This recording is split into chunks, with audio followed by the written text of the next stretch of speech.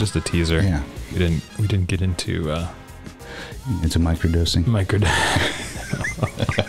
we didn't. The benefits Oh, of psilocybin. We could talk about microdosing.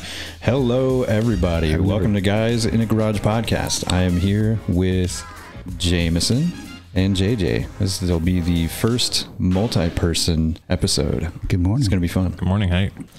In- Instead of being at coffee in public.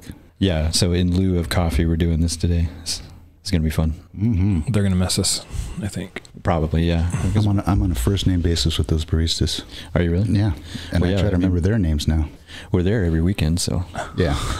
It's true. Talking too loud and sharing our ideals. with uh, everybody there. We've, Mhm. we've had a couple head turns, depending on the, the volume of our conversation. I think we've seen a couple adjacent tables going, what are those guys drinking? I'm usually the one looking around like, okay, who's listening to us?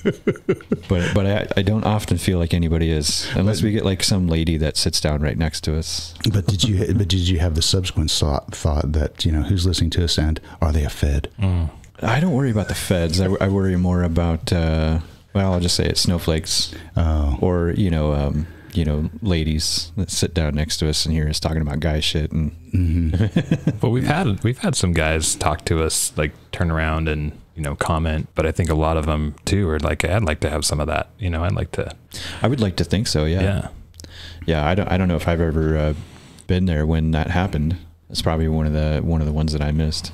Well, think of uh, society in general, right? You go to the coffee shop, and like, how many groups of women do you see sitting around talking about coffee? Like, what, two, three? Some of them are huge. Yeah. One time when you know during the summer hours, Talking about the groups or the women? yeah, the groups, both, the huge groups of huge women. That- I mean, there's a dozen or more like around a table outside, right? Yeah. So I mean, they're all getting together, and they and a girls' night out, like guys' night out, never became a very popular fad. Mhm. So it's like I think men connecting with other men is just being kind of neglected. Well, so, I, I disagree. I, I think guys' night out. Um, I think guys' night out has always been traditionally more of a, a you know kind of a bigger thing, but it's been, commer- you know, ladies' night out has been commercialized a lot more. You know what I mean? Because you've got ladies' night at the bar and all of that stuff. So I think that's uh, just why you hear about it more. I don't, I don't think that Yeah. uh, guys' night is a thing. and maybe the fact that uh, they need an excuse to go out, whereas guys really don't. Well, I think the ladies' night thing is like a marketing thing, right? You know who Mm. the ladies are. Well, Mhm. exactly. Then the The- guys come out too. the excuse for guys' night out is because the ladies are out. Yes, where are all the bachelorette parties, right? That's what they want to know. Iron Horse. Indeed. That's where I've always run into them. Yeah, I haven't been there since I did like open mic with the drums. It's probably like You did an open Two mic at years Iron. Horse? yeah. My my teacher that was the first one I did. I was so nervous, but it was on drums when I was taking drum lessons. I forget that you did drums too. Yeah. Because you, 'cause you do the bass, right? Yeah, I, I really like that. I haven't practiced the bass as much as I should. I got to figure out where that goes in the routine of the day. Mhm. I still haven't found that because because a lot of times I want to play it at night, and of course everyone's asleep. Did you ever, uh, have you ever started in on the guitar at all? Yeah, that's learning curve is so steep. It's like Yeah. It's I, like there's Everest. Like, yeah, yeah, I like to take a picture of it, but I'm not gonna start climbing because I know I, myself well enough to be like, that's gonna be so hard. I've been, uh, oh, I've been messing with the guitar since I was like five Mm. and I'm still like a campfire musician. I'm not, I'm not that good. You're hard on yourself, man. We've heard you, but we both Yeah. heard you play. I think you're pretty good. You can.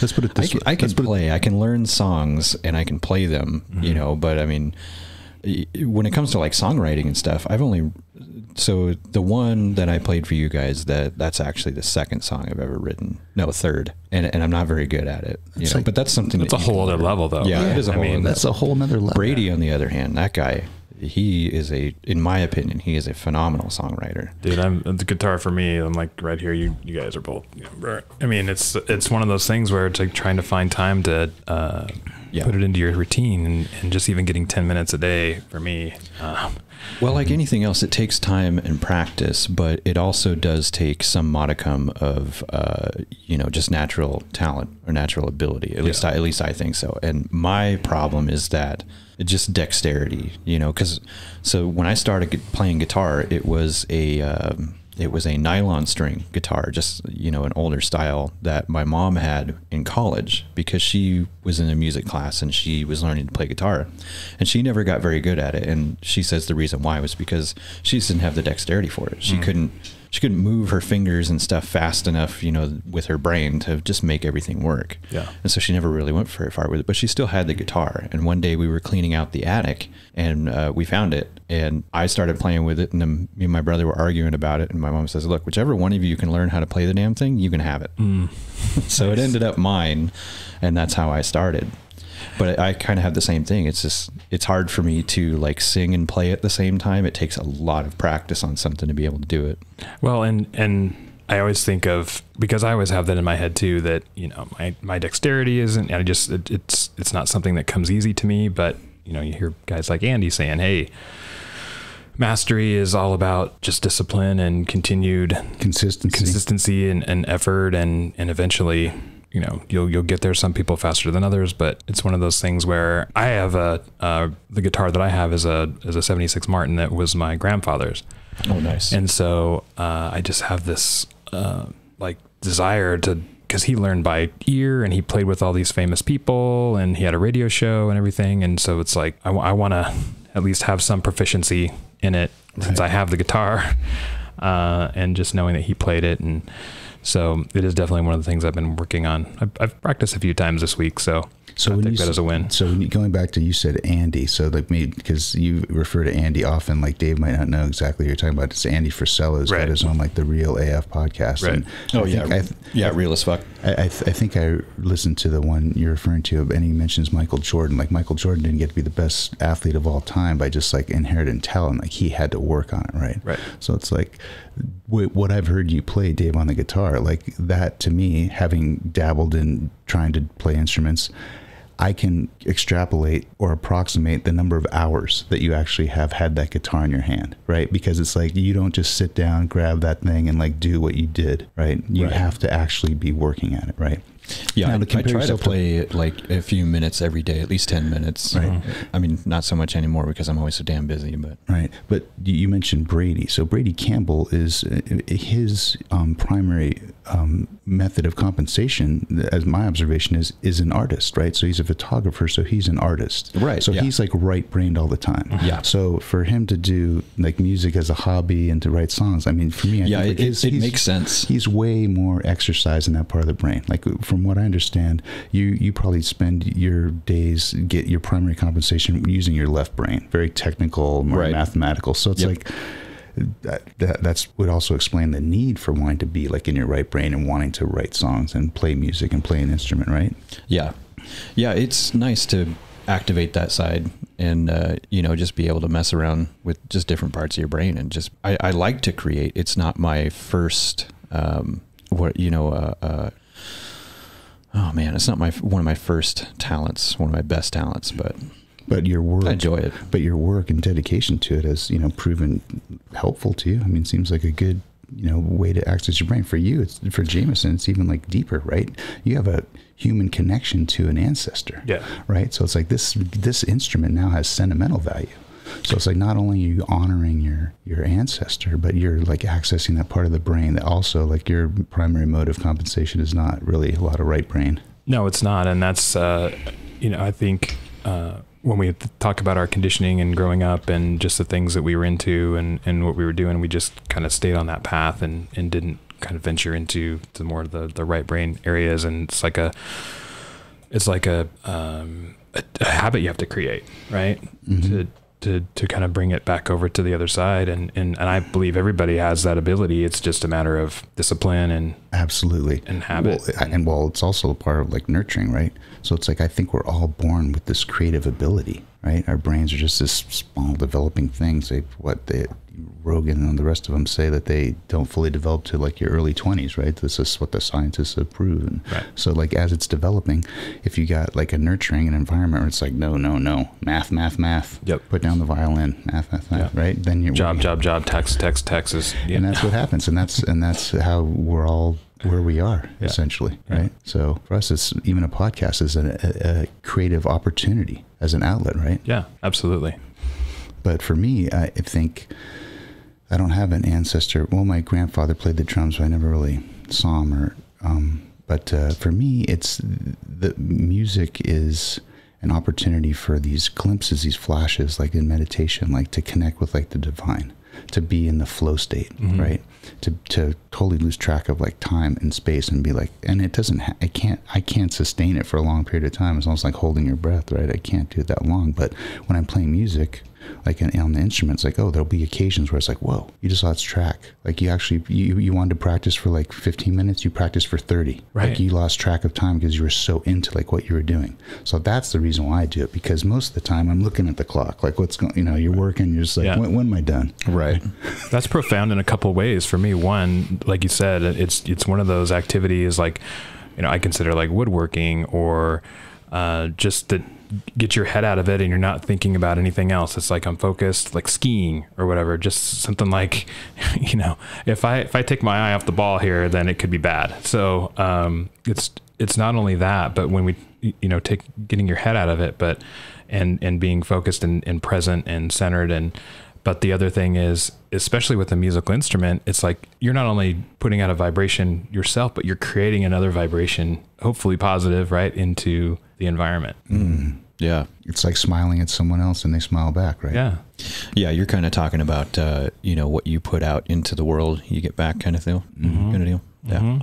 But you're putting something out positive, right? Because someone, Right. someone at some point in the line, you guys are in service industries, has to take the blow of the negative, right? Has to be the alchemist to change to change the energy, Yeah. right? You're the barista the place we usually go to, and someone's yelling at you or throwing their coffee at you because they didn't like like the order that you made. Like, what are you gonna do? Like, turn around to like your fellow employee and dump on them? Like, no, you have to eventually like smile at the next customer and be like, oh yes, sir. Right? Yeah, but see, that's where I fail. That's why I could, I couldn't do uh, Service service, industry. No, because somebody who does that, I would just get right back in their face. And Right.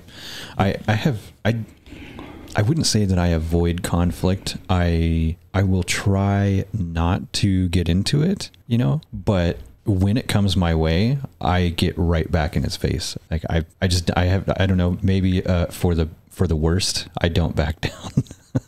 There's been many a time where I've stood up and I should have shut up. Let's Yeah. put it that way. Yeah. yeah. That was something interesting that our um, my counselor was telling me the other day is is the whole I think he called it BZQ. So It must be an acronym. Yeah, BZQ is an acronym. I'm trying to remember what it was, but it was like uh, there was something about zipping it and asking questions and not, uh, you know, basically breathing, breathe, Mm, zip it, and uh, and and ask questions ins- instead of uh, instead Yeah. of being triggered. yeah. The problem is like I need that something before the breathe. Because usually the trigger is right before when I'm supposed to breathe. The trigger precipitates something else, like Dave's talking about. Like you know, if the Mm. trigger is some guy getting my face, then it's like okay, Yeah. if, if I'm, I'm triggered to respond, you know, I won't be able to keep that service job. Yeah, I'm glad you remembered it because I tried to Google it and all that comes up is some stock in Brazil Uh, yeah, BZQ. breathe, zip it, yeah, and Well, ask that- questions. That's one of the things that uh, we talked about in the men's group is like you know keep your mouth shut. Mhm. And, and how Yeah. many how many years have I been married? And it's like okay, she starts up right, and it's like okay, this is a debate. Mhm. Let's go to battle. She, Well, she when she pauses, like I punch back, and it's like I don't even realize I'm losing. Right. Right? But it's not only, you know, in, in a relationship like that, but I mean, really, in a relationship or, or just um, pretty much anybody that you encounter. When somebody gets, you know, quote unquote triggered and they're in an emotional state, then there is really no rational thought. Mhm. And the best thing you can do is to just kind of chillax, let the situation calm down. And then once that person or even yourself is in a better frame of mind and can actually think, then, you know, act on it, start asking questions, stock, stuff like that. Well, it's a fight or flight response. It is, right? yeah. When and that's not necessarily healthy, Right. Especially if you're doing that all the time. right. right. But it's And- in all of us. Right. It is We in all have of it. us, and that's that's our animal instinct, and and there are other animals that you know in the realm that will do that. Yeah. But that you can see immediately, like like my dog gets you know Mm-hmm. triggered or whatever, and and and then the next thing you know, she's shaking, Right. shakes it off, back to normal. Yeah. You know. Yeah, and and you know what people don't realize with uh, anxiety, you know, especially people who have uh, you know issues with anxiety, um, that's what that is. Is that fight or flight response is just very high tuned, and it's hard to control. It's very difficult. So you get people who I, I uh, there's a comedian I've heard joke about how you know sitting on the couch and uh, for no reason he just f- thinks bears, there's bears in here, run for your fucking life. And he's like, I know it's just a ham sandwich. It's fine. But I mean, that's kind of how it is. For no reason, you you think stuff like that. Well, that's yeah, that's that whole thing of not being present and just having that the, Yeah. the- you know the anxiety is future, the depression is past, and and I learned this and and it made makes total sense now. But this whole thing about breathing and like constricting your diaphragm and all of that, like it's actually like kind of pushing those you know because your dopamine is made most of it right in your gut and just kind Well, a of lot a lot of things stem from your gut health. Yeah. pushing it into I talked your about- uh, bloodstream with and Tim. So the whole like meditation and breathing and everything is just like duh Yeah. One of the most famous uh, New Age authors, Eckhart Tolle, uh, said if, if the whole everyone in the world took one conscious breath, like the world would be like completely different. But like most people don't even breathe consciously. That's what you reminded me of. Yeah. What Dave reminded me of is that you're treating another human being almost as if they're an animal, right? This animal, Kind of, this yeah. animal's kind of like in their animal brain, right? Right. So I can't remember the name of the author, but they talked about the different parts of the brain. One is like the primitives, right? That's the brain that we're all kind of animals are born with, the ones that like allow for bodily function and fight or flight and survival. And then it's the ambassadors, right? The higher cerebral cortex that we humans are like blessed with that is supposed to control the primitives. Mm-hmm. It's like this is a primitive response.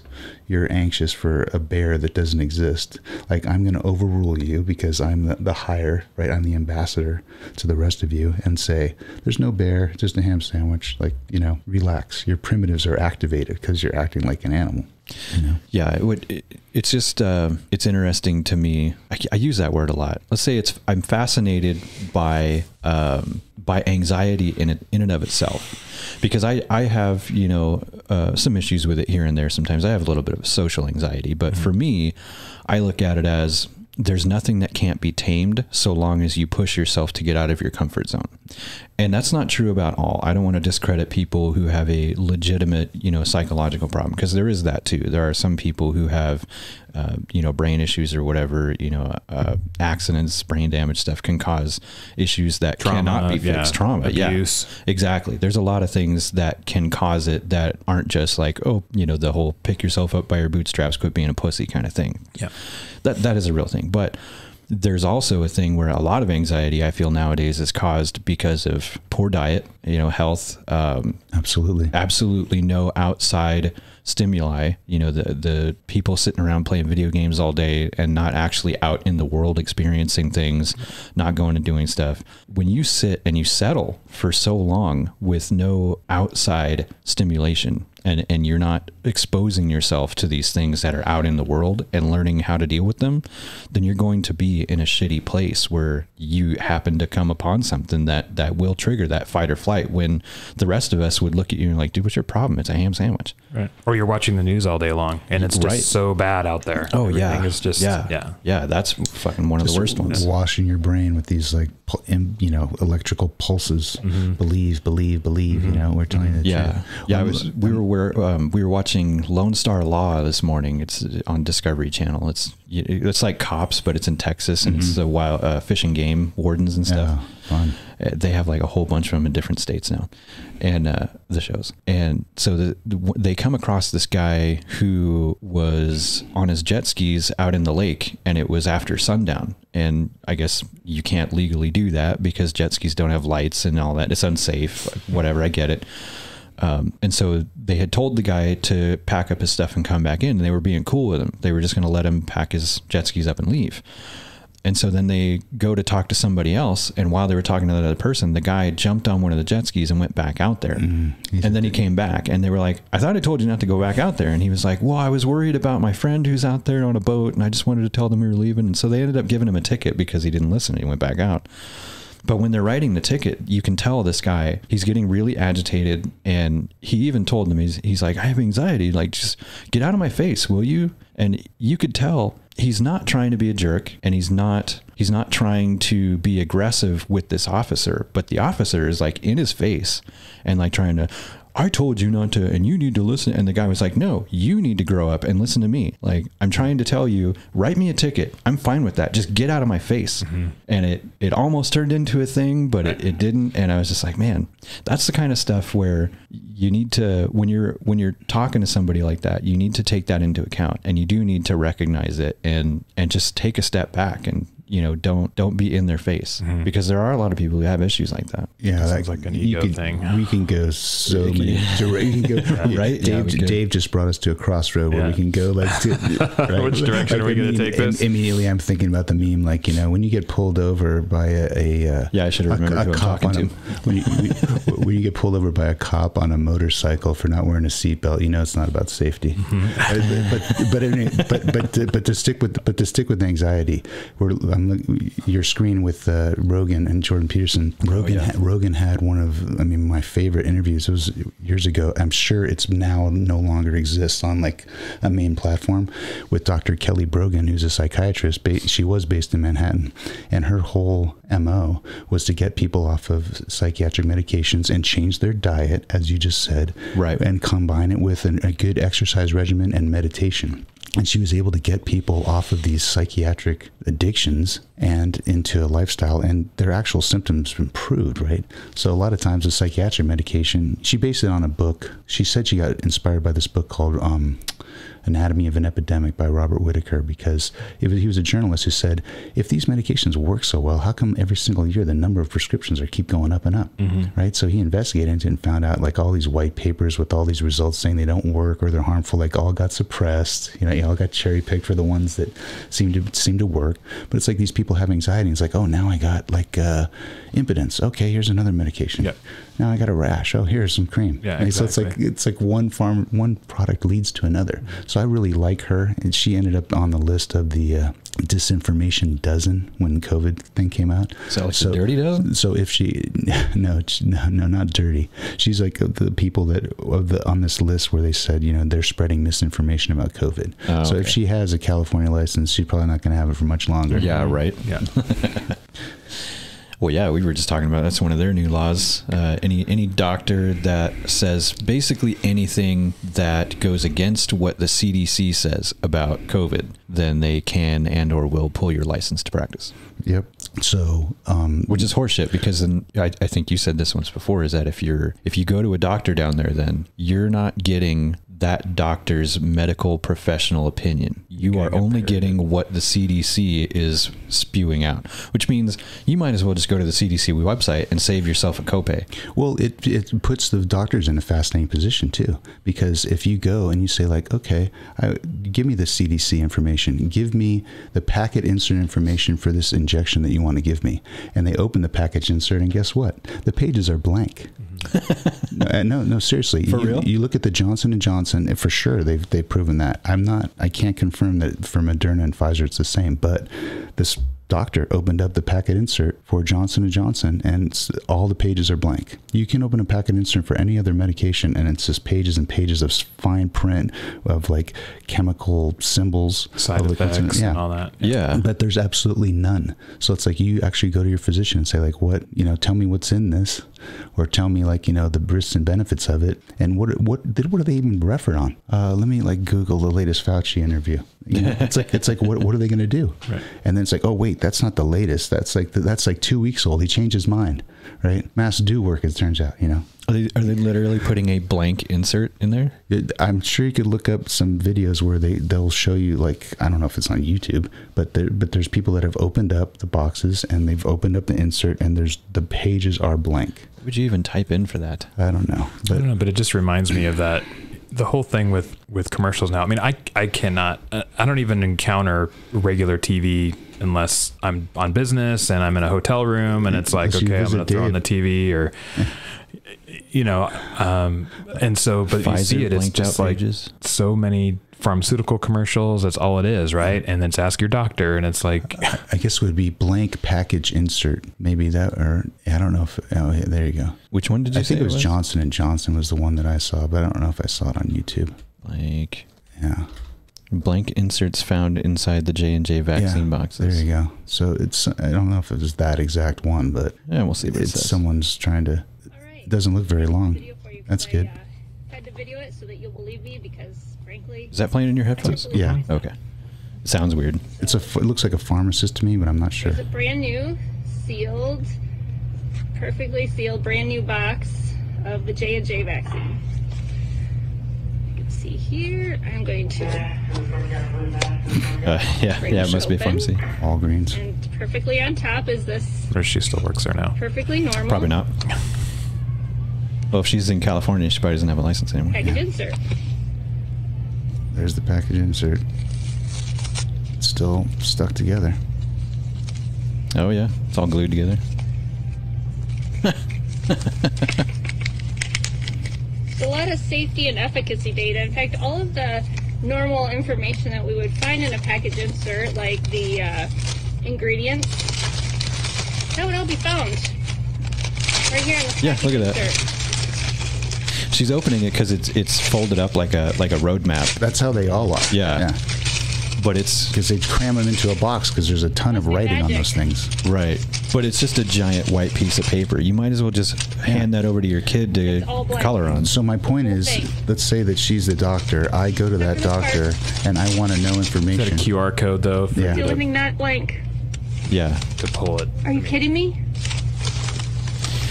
So the question is then, what does that QR code go to for one, and then two, if if you're going to put all the info online, then what was the point in wasting all that paper to have just a QR code? Because they know nobody reads them. Yeah. Nobody, nobody, nobody does read them. That's that's another true. And the other thing that people don't read because you know, believe it or not, when you have like a quarter of a million dollars or more of debt to pay off for medical school, you don't really give a crap about the latest literature because you're not in academics, right? You're in an office trying to pay your office staff, trying to pay for the overhead and keep the lights on. So you're seeing what like six patients an hour. Mm. you have like 10 minutes for each person. Tell me when Yeah. you have time to sit down and analyze the literature. No, you basically look at the headline, safe and effective. Oh, that's all I need to know. Yeah. Next person comes in, I'm I- I'm worried like it's safe and effective. That's all I know. And I'm covered because the CDC said so. You know, I've I no got I got the backing of all the liability, responsibility. Right. Right. Exactly. Well, that's an interesting question because while the pharmaceutical companies don't have liability, at least not at this point for this product, uh, the people that mandated the vaccines might. So a judge ruled just like, well, you're not suing Pfizer, but you're suing like you know Business X because the CEO of Business X said that this is mandatory for you to work here. Mm-hmm. It's like so now all of a sudden these intermediate people are fall guys. All of a sudden you got uh, Oliver Norths everywhere. Like you know you got to take the fall for this, right? And so they're all business. They're like, what? Like, Yeah. we, we, we we did what you said. exactly. Right. Yeah. The brilliant thing that DeSantis is doing in a way, and I'm not saying I'm a DeSantis fan, but the way he weaseled, leave it to another lawyer to like weasel around this, is that we can sue you for false advertising hmm. because you advertised right that the product is one thing, and now we have numbers saying that the product is something else. So under false advertising laws, they may have access to get to these companies. So that's kind of interesting. Nice. Yeah. Yeah, didn't didn't they get some kind of like a, um the uh, pharmaceutical companies some kind of like a blanket immunity during all this? 1986, There's, yeah. a docu- documentary on that. 1986 is called The Act. You mean 1984? Yeah, close, close. So Ronald, so un- Ronald Reagan, you know, for even the libertarian leaning who, who loved Reagan, Re- Reagan signed the act because uh, I mean the synopsis of the movie. It's done by Dr. Wakefield, who has been sounding the alarm about vaccines in general for just like decades. But everyone thought, you know, he's a quack and quack. So like all the media will tell you quack. So if you Google his name, it's just like quack, Quackfield, right? Especially if you use Google. Right. So he made the movie. I still haven't seen it because at the time it was like you pay for it. But um, Andrew Wakefield? yeah. So so he's the one who did the documentary. I, again, I haven't seen it, but in 1986, supposedly the pharmaceutical companies were losing their ass because there's so much liability. They're exposed to it all. They're like, look, if you want us to continue to be able to make medications, Yeah. you need to give us some type of protection.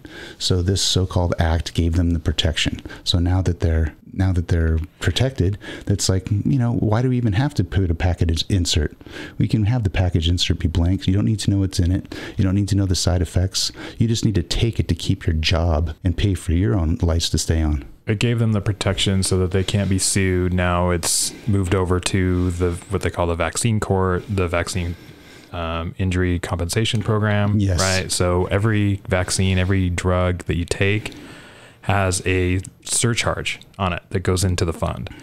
and basically, when when if you have an injury, then you're not actually you're not uh, going up against the the maker of that drug or vaccine. You're going against the government. Uh, And, gonna and the get government is yourself- taking that surcharge so that if they get sued, they have a, a fund set federal aside that they're probably Yes, yeah. robbing anyway. I mean, I don't have any proof of that, but and it's and the and the actual people that that come out, uh, you know, compensated in this is very very minimal. Right. Well, Right. because you have to like reach such a high threshold, mm-hmm. right? There's still a judge and arbiter that's going to say like, oh yeah, you meet the threshold, you get this money. But the the truth is, you, you don't have, you might not have any data on that. You have data on this. You pay taxes, right?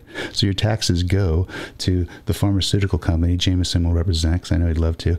He's get, he's he's getting your money to fund the research to put out a product of which he has no liability, mm-hmm. right? And you're simultaneously funding the the government, right? That will pay off any damages. Hmm. He's And not it's all paying. He's part not of paying the, any damages. the cost of doing business, you know, and it's Yeah. it's it's like it's, such it's just it's a, racket and it's a scam. liability. It's like, just- oh, got another one. No, pay out another, you know, five hundred thousand, and let's move on. Right. Well, what's yeah? I mean, it's just like what's the joke meme? It's just like you know, taxes are what we pay to live in a civilized society. Mm-hmm. After the BLM Antifa stuff, it's like, uh, can I get my money back? Mm-hmm. Like, where's, Yeah, right. where's Yeah. this? Where's the civilized society? Well, and I think that uh, last I saw, it was they'd paid since 1986 just over two billion dollars in in damages through the vaccine court, which is very hard to get Right. compensated through anyway, which is pretty substantial. And the fact that every one of these COVID manufacturers of, of the vaccine have all been criminally charged with fraud,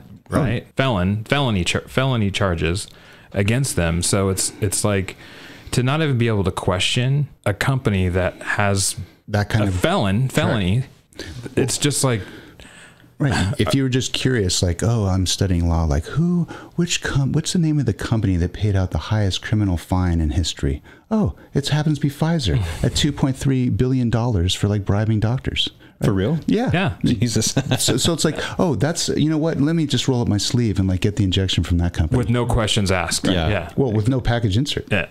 right? Yep. No idea. Well, because I got to keep my job, right? So it's like the, the pressure these poor people were under, and now they're just like, oh, Yeah, that was that was probably I think I think that was one of the things that irked me absolutely the most was when they put it toward us to get the jab or you know you you- you could basically lose your livelihood. Yeah. Like really? Mm-hmm. You're you're going to tell me that you care about people so much, right? That you want us to protect ourselves and and, and all of that. But you're going to tell me that if I don't get this thing that you're forcing me to get, then I'm going to lose my job and I'm going to end up on the fucking street. Well, and you see it Wow, now. you really give a shit about people. Well, I know now. And then look, do you see like what's going on in New York where they're having to hire those um, city workers back, the unvaccinated ones, and paying them back pay? Oh yeah, yeah. I think I did see something about that.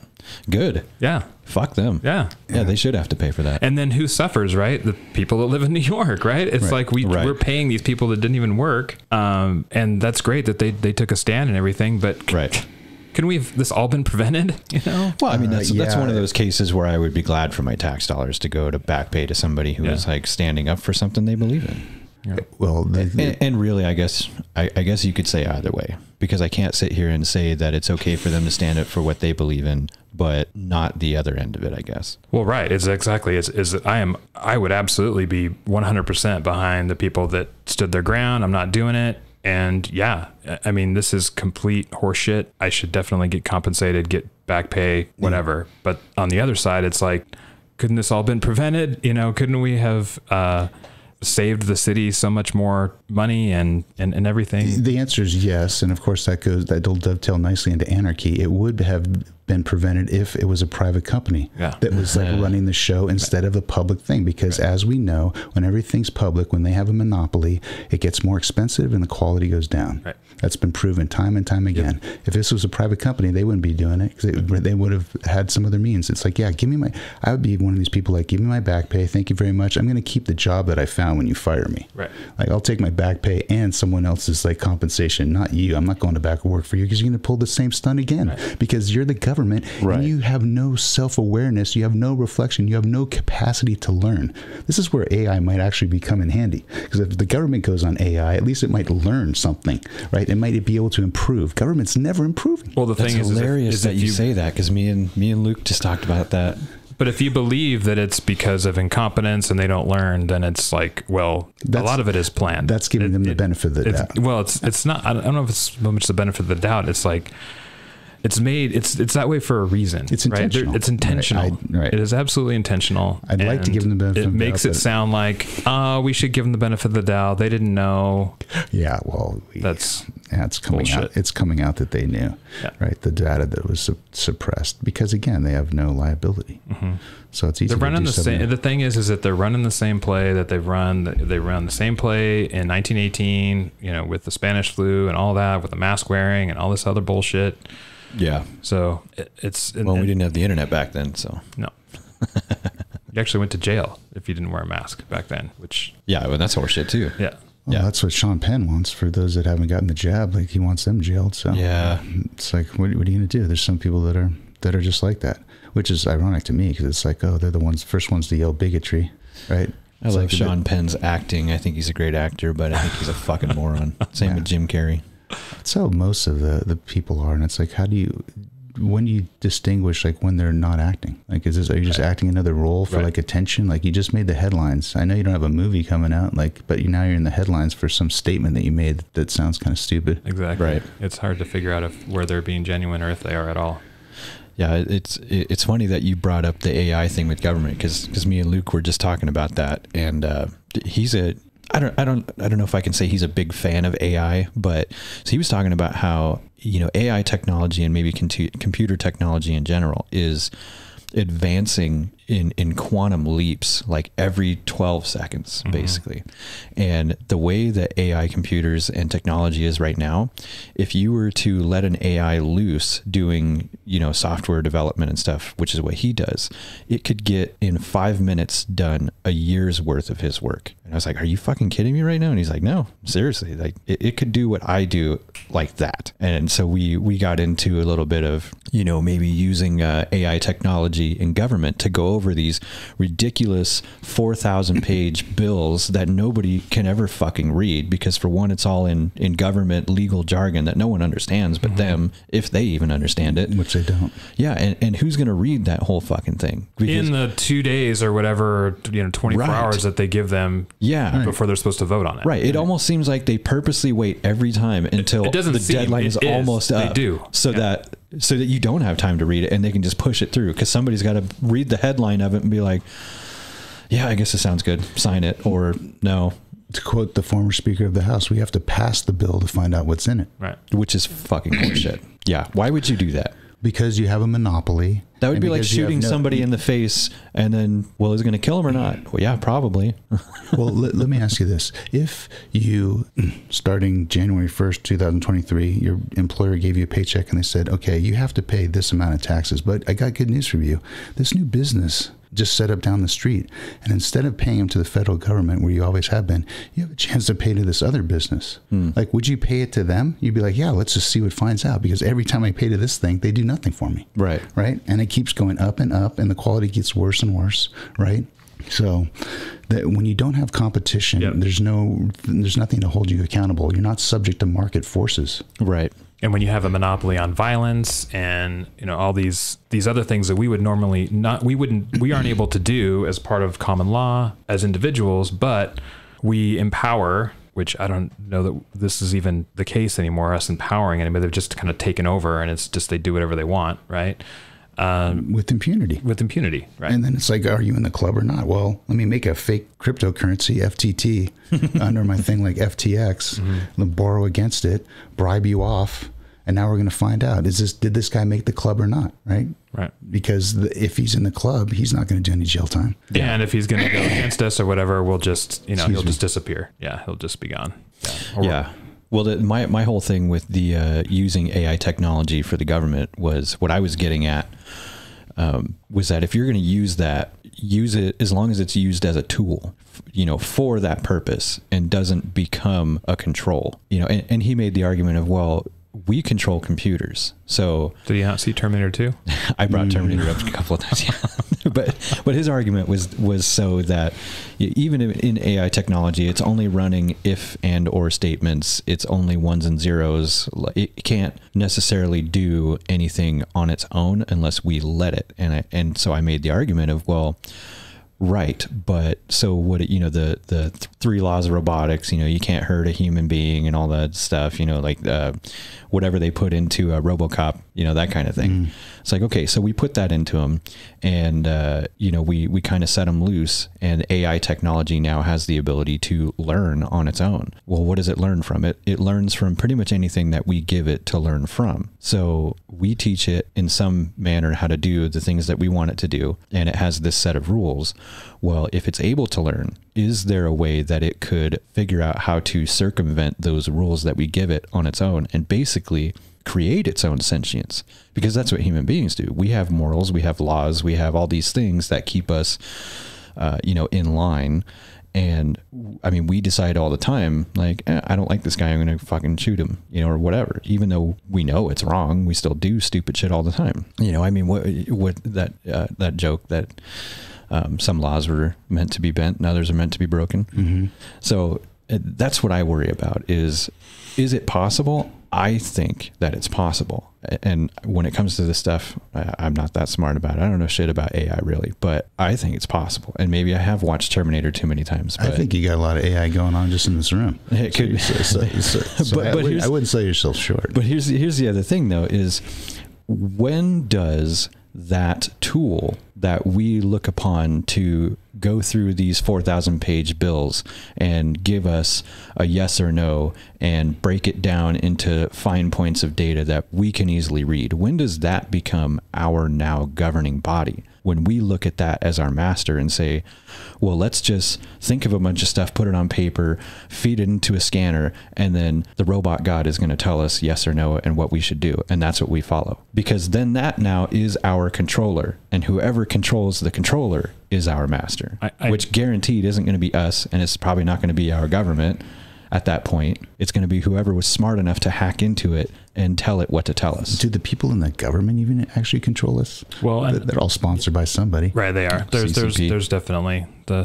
Klaus the Schwab. families, the families. Um, you The- know, the families. The thing is, is I haven't I haven't. Uh, well, yeah, going back to you know Roman times, right? I mean, this every we're, we're under control of Rome. oh yeah Pretty much. You know, so but the thing is, uh, I have yet to hear any positive arguments for AI. I mean, I'd definitely be open to a conversation to hear a little bit more about it. I mean, I just see the things that you know DARPA's doing, the whole thing about you'll never shoot a human, kill a human. Have you seen those attack i haven't Right. robots Well- and stuff like that. I mean, that's that's insane to me. And as, as an Mhm. anarchist, dogs. it, it, it I, the whole idea of AI pouring through a four thousand page thing is like I would you could put the laws on one page. You know, it's just like Right. You, you well, know, if, I- if you had the controller for the AI, what you do is like you know hold up those four thousand pages and put a match underneath it and burn the whole freaking thing. Yeah, right. That's how, that's how you interpret Yeah. those pages for if you're Right. my AI. Right, exactly. But, but one of the things you, just said, light Dave, a cigarette stare at it exactly and set it on fire Throw it into the fire. Yeah. That's that's that's how we would control the AI. Yeah. But getting back to what you're saying, Davis, like you said, you know, morals, ethics, laws. One thing that you left out, which I think you're implying though, was like loopholes, right? There's- right, the- there's always a the AI will loophole. find the AI will find the loophole, right? It'll redefine human. Yeah. Or they'll be like, this is not a human. We, Yeah. As humans, we're I already can re- kill these humans, but I can't kill these ones. yeah Exactly. And- like this person's not a human because guess what? They're not employed. They're like homeless on the street. They're living in a tent. This does not meet my AI criteria for human. Terminate. Terminate. Clean up the streets. What was the thing in San Francisco where they're allowing AI to um, use force, right? Or robots, right? Yes, robots use force that in San was Francisco. passed, yeah. Yeah. Yeah.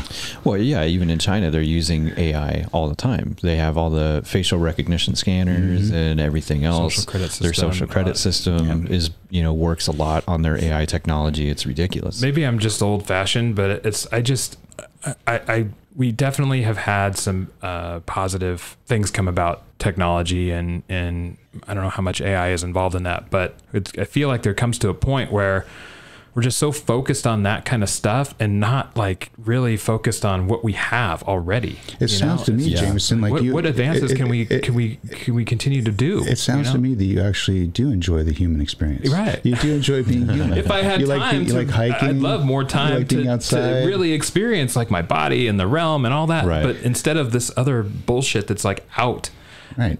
Beyond me, that it doesn't really matter. Right. Well, it's know? it's the natural bane of human existence, right? We can't ever just be happy with what we have. Mm-hmm. We're always looking for something better, and I think maybe that's possibly because we just get bored too easy, and uh, you know the monkeys always have to have something to play with. Yeah. Yeah. And if AI it's the same. It's the same thing with uh, you know gene therapy and all this uh, you know technology that we have to, you know, they're trying to basically uh, make it to where you can go in and custom order a baby, you Yeah. know, so that something that will have, you know, be a, a great athlete and will never get sick and never have these specific diseases and all that stuff. You can guarantee that your kid is going to live to be 120 years old and all that. And I mean, maybe in some way that's great, but. I mean, the basic statement is who the hell are we to play God? Well, and how long is it going to be before you can have a device here where you can print yourself off a cheeseburger?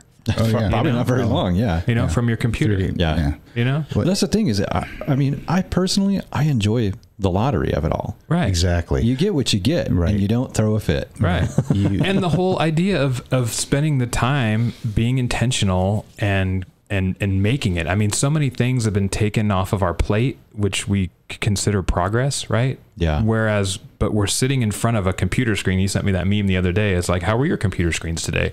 We're gonna Yeah. go and and get on our other computer screens, Yeah. and I'll be on a screen while we're watching those other screens. And it's yeah, just like I'll be on my little screen. so Oh, we've yeah. we're we're sitting in a chair looking at screens and we've we've supposedly taken all of these, you know, troublesome, you know, things we don't want to do, which is being in touch with the land and the realm and and actually uh, you know, growing our own stuff and and and really being intentional instead of relying on government and other people to do that for Yeah, us. Yeah, just imagine a farmer be like, yeah, there's this couple, this yuppie couple, like from the city that they want to come out and, sp- and spend money and pay you to like, so they can sleep in your barn and like look at the stars and like maybe help you with your cows. And the farmer's like, are you out of your mind? Like I do this, like, I do this every day. I have, shit, I have shit to do. I can't afford to deal with them. We were at, we were watching that show uh, 1923 last night. Uh-huh. uh episode three just uh, recently came out, and God, it, it just it was amazing to me that they thought to put this in there. And so they go to town and they're they're in Bozeman and they're walking through town and, and the guys and their wives and there's this guy on the corner selling um, electricity. And so they were all like, "Oh wow, you're you're bringing electricity in here?" And he was like, "Yep, we'll even run the lines out to you." And uh, and he was also so he's standing there and they were like, "Well, what's this thing?" And he goes, "Well, that's a washing machine." And they were like, "What does it do?" And he says, "Well, it washes clothes, so you don't have to." And they're like, "Well, what does this wash?" And he goes, "No, no, no, that's a refrigerator. It freezes stuff in the top and keeps everything nice and cool in the bottom."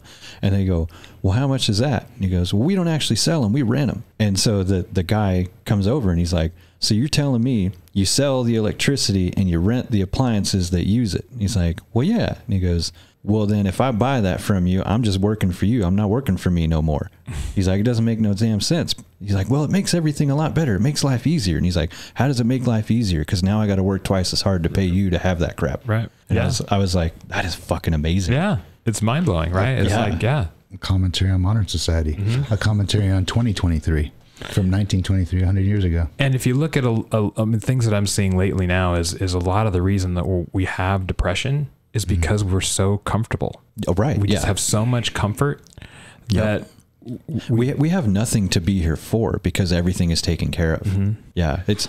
I, I was again. I was talking with Luke about uh, this study by uh, I think it's John Calhoun that he did in the Yeah, started. the mice, the rats. Yep. The rat paradise. Yep, the Rat Paradise. It was on yeah, that Dan Cummins podcast. It was. Yeah, me a that was on Dan Cummins. Yeah, but it's uh, um, so he so it was like 30 years that he did these experiments, and and I already went over this before, but so I'll just kind of touch on it. Um, he so he did several of them, and it was like two to five years or something each that he did them, and basically he took all these all these mice, rats, and made tried to build this utopian society over and over and over again. And each time he did it, he gave them he gave them everything they could possibly need food, things to play on, water, everything was taken care of. They didn't have to do anything. And every time the experiment ended up the same way. Over time, they stopped breeding. They all turned uh, uh, violent against each other and destroyed themselves, no matter what. Every single time it turned out the exact same way. And they've used this study f- to uh, um, to basically track our society and and what we have come from and what we are becoming. They've kind of put it towards that. Yeah, and it, it was, I, I, I mentioned the comment that you said in our Discord channel where you said, "Yeah, that's all great and grand, but I'm still not convinced that uh, people are as smart as mice." Yeah. Well, there's definitely a correlation. I mean, it sounds So, well, so, so then it, it, it leads to natural questions, doesn't it? So you, you based on that, that ex, those experiments, and it's like, let me ask you, like, what's how's the world re, reproduction rate doing these days? Are we replacing the humans that are dying? Well, or not? obviously it's falling because Okay. Elon Musk is so worried about it and trying to create his own personal army. And what's the crime rate? If we go turn violent against each other, how's that doing? Is that dropping? no, Okay, so you have the numbers then of human beings that are mimicking rats. How Right. proud should we be? Exactly. No wonder people want AI. They want something more intelligent than the human, right? and and governments and countries and monarchies whatever they they rise and fall and you know just kind of the same way i mean i i heard something the other day that you know on the whole currency part of Mm-hmm. it is that there are only for like the last since since our inception of our currency the us there's only one other currency that is as long as ours and it's the british pound Mm, yeah, the rest have all fiat currencies right have Come and all gone. just come and gone That's fascinating. I didn't know that. yeah yeah, they're all fake. yeah The current- and and as you can see Well, and ever since Nixon cut our dollars tie with uh, The gold, gold, I mean, yeah. it's basically fucking not even worth the paper it's printed on. right Yeah, it becomes. It's just the idea in your head of what it's worth. and then they find these creative ways to make it worth even less. Hey, we're going to give you universal basic income. Well, mm-hmm. that's great. Oh, yeah. Well, why do they? Why does a dozen eggs cost a a hundred bucks now? yeah, let's I start the can't rat figure that out. paradise now. Right. talk about a band-aid on a freaking like I've- head I've- wound or whatever you know it's like Right?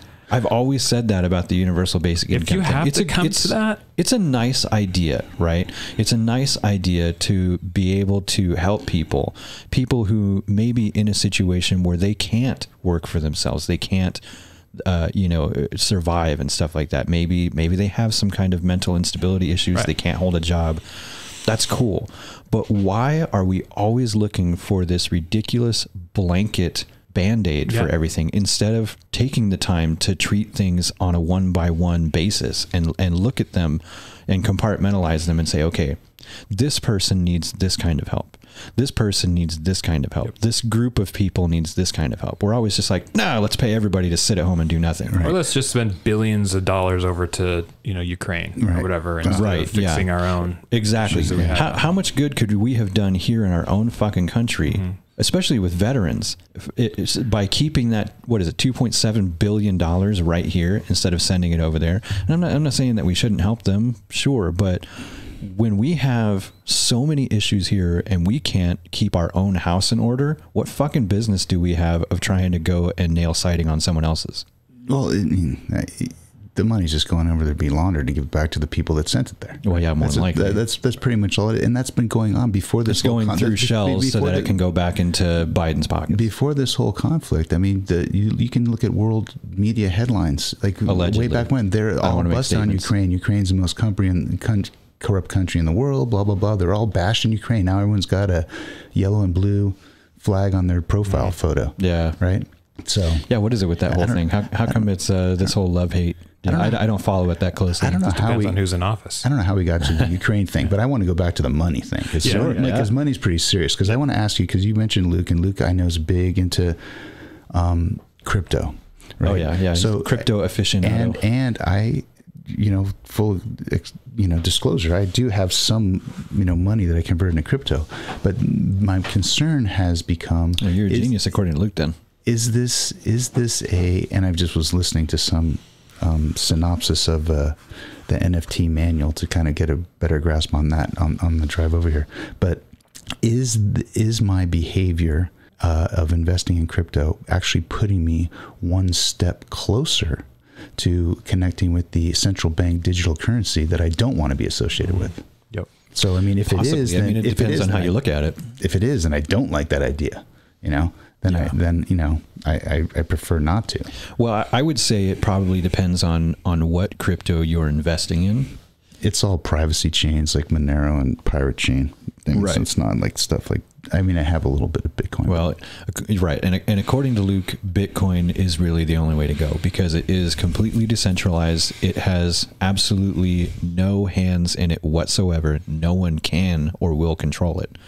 That's not to say that it, it won't eventually lose all of its value and fall. It could, that could happen. It, it is entirely possible that it could. You know, you could put.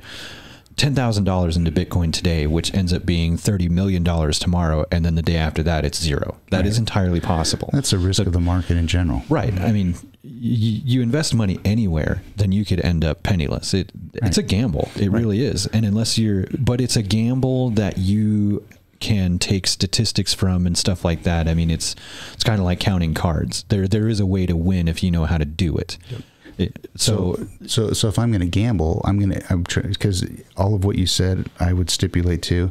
What I am concerned about is, I'm they're already bleeding. When I say they, if if we're going to go that step, but if we're, we're just going to say the government, right?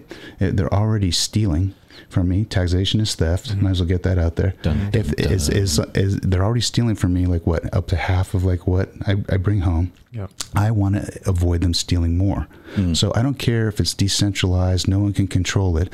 If someone can see a transaction and tax me on it, that's all I care about. Because if they're going to now have me like pay taxes to them, them being the government, Right. because of my Bitcoin transaction, I don't want to be involved in it. Well, it's right? already a line on your 1040. So tell me, so Right. is it? Yeah. Oh, I see, I, mean, didn't. well, yeah. Once you, I, uh, My accountant deals with that. So once you uh, once you convert the Bitcoin back into real dollars, then you are supposed to report if you're that. trading it, right? I mean, it, Right. It's So- just an, an event, right? I mean, Right. that's that, that's my question too about about Bitcoin is Right. is, is is everybody like you know I they're think- I really think- hype about it because they're trading it, or it's because they're they're holding it long term? I, uh, no, I think it's because they're trading it because I think they look at it the same way as they do with uh, you know like stocks and stuff. Mm-hmm. As long as it's still in the market, then it's non-taxable. It's just moving around. It's either gaining or it's losing. It's once you convert it back into real money and you take your gains from it, then they want their piece of your gains. Right. And, And I don't know I- how much don't that wanna- is from Bitcoin because it. I don't know that it's technically like a stock or treated as a as a, a an as an investment. You know what I mean? I don't know that they take the usual forty percent or whatever their bullshit is on. Oh yeah, capital you don't know what the tax rate is, but the b- bottom line is it is. It's more than it fucking should be. And talk about the biggest scam Yeah, in the than world is I take all the risk and you get a cut. Yeah, I mean, right? Come on. yeah, That's the government. I'm doing all the work, and then you know, because you don't pay tax, they fucking take tax. Yeah. and That's they're what going to take said, it out of your taxation ass if that's what they got to do. What's the difference between, um, you know, But the great thing about Bitcoin, right? So think of it this way: if if you say you don't pay your taxes, or you know you you do something where you end up getting garnished, okay, the government can go into your bank account and they can literally just take your money. Oh, yeah. They don't even have to. They don't have to do anything. They just walk in and take your money, and Right. then you're fucked. Right.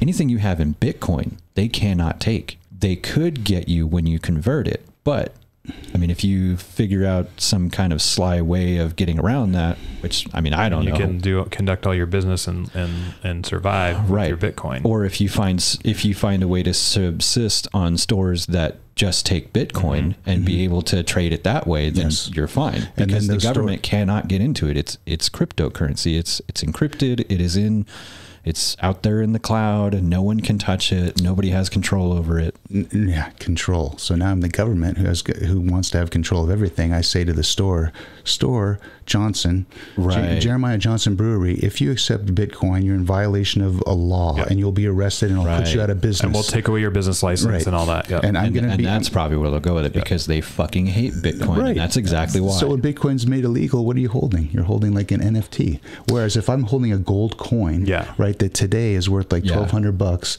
that when the dollar finally goes to like as close to zero as it can get, right, is now worth like three thousand bucks. Mm-hmm. As by the way, like what's the guy, a rich dad, poor dad, Kiyosaki Yeah. predicting might happen this year. now I have a Mm, yeah. three dollar, three thousand dollar coin. Who's taxing me on that? And then I die. Right, a, a, coincidental death, of course. Mm-hmm. I died suddenly, and like, and then I pass it. I pass this coin down to like you know my my daughter. It's like she gets the coin. and There's no tax. There's no inheritance tax. There's Yeah. nothing. There's like there's no Who's trail. gonna know? I already paid the sales tax when I made the transaction, and that's the only tax I paid. Right. And plus, I physically hold it. When I talk about anxiety, is like I log into the screen, I see numbers on the screen, those numbers are changing or dropping, I can't do anything. Whereas if I'm holding on to this piece of gold, you know, I feel like I have a commodity in my control. That's what I'd like to see as businesses Yeah. that actually would take gold and silver. Yeah. That'd be awesome. Yeah. That would be cool. I mean, there's there's pros and cons to it though, I think, because holding on to a physical medium like I mean gold, whatever, that can be still be taken. That's it true. can, but it also does have uh, you know industrial use and and Right. things like that. It's actually a, a you know usable element that that, that has other use. I, I think of when I think of of cryptocurrency, it's like why why can't like airline miles be cryptocurrency? Yeah, they You should know? be. You know, I can actually go and buy a flight with my airline miles. You know, I mean, Yeah. I think that's more valuable than that actually has value. It's well, at one point they said that the actual frequent flyer miles, the value of them was worth more than the whole airline industry itself. That's how much money was in airline miles. Jesus. Well, I mean, yeah, you got people with uh, those, you know, credit cards that rack up miles, and uh, I mean, especially big spenders that just have accounts full of thousands and thousands of miles, and they never spend them because they're too fucking busy. Right. or just tr- or yeah, they just travel all the time. You know. Yeah. Just rack 'em up. Well, I mean, and I mean, if any, if everything just became like a, a, a bartering market economy, right? Because I mean, really, anything has value depending on what value that you put into it. And why can't we decide as, as as human beings what is valuable to us and, and when I can conduct what kind of transaction I want to conduct? Right. Like, say But I don't need a, a daddy to tell me. Right. But but say you want to go with your wife on a vacation to Costa Rica, right? And I've got 30,000, you know, airline mile points in my account that I'm not going to use and they're about to expire in 3 days. But you've got a garden and I'm looking to make a whole giant pot of uh, you know, you know, grandma's famous uh, spaghetti sauce and you know, I could go to the store and get tomatoes, but I want fresh, good heirloom tomatoes and you've got them. Well, fuck, I'm not going to use these miles. Give me 30,000 points worth of heirloom tomatoes, buddy. Yeah. It's creative. That sounds It's- too much like freedom to me. I know. I'm, I, as, the, as, as the government, I forbid this transaction because I don't see how I get my cut. Starting to smell like eagles. What, in where do I get my cut? Yeah, I, uh, I I think I need at least you know 10k of the tomatoes, and I'll take 10k of those miles, and you guys then you can have your transaction. Right. Well, and I mean that's the thing is we could do that, right? But but they have to put their foot There's- into there- everything. There's they again. Yeah, the the Well- proverbial they. well, Well, think- it's like what they're doing with uh, Venmo and stuff now, Right, where right. any transactions over six hundred dollars you have to report and pay taxes on. What was the, what was the meme that I saw? It's like a Rand Paul like like Venmo like Ukraine like six hundred and one dollars so that they so that now that the feds have to officially look into the government like expenditures. That's fucking hilarious. I thought that was just so funny. yeah, so That's good stuff. but going back to the a little bit back, it's like okay, so um, the ideas that, you know that are that are um, mandatory, right? So you have to do this to keep your job. It's like what idea that's a good idea has ever like been you know mandatory? Like your Mhm, idea right. of bartering bartering is is brilliant. Um, uh, I mean, and that's the way that I think used to be in hunter gatherer societies, right?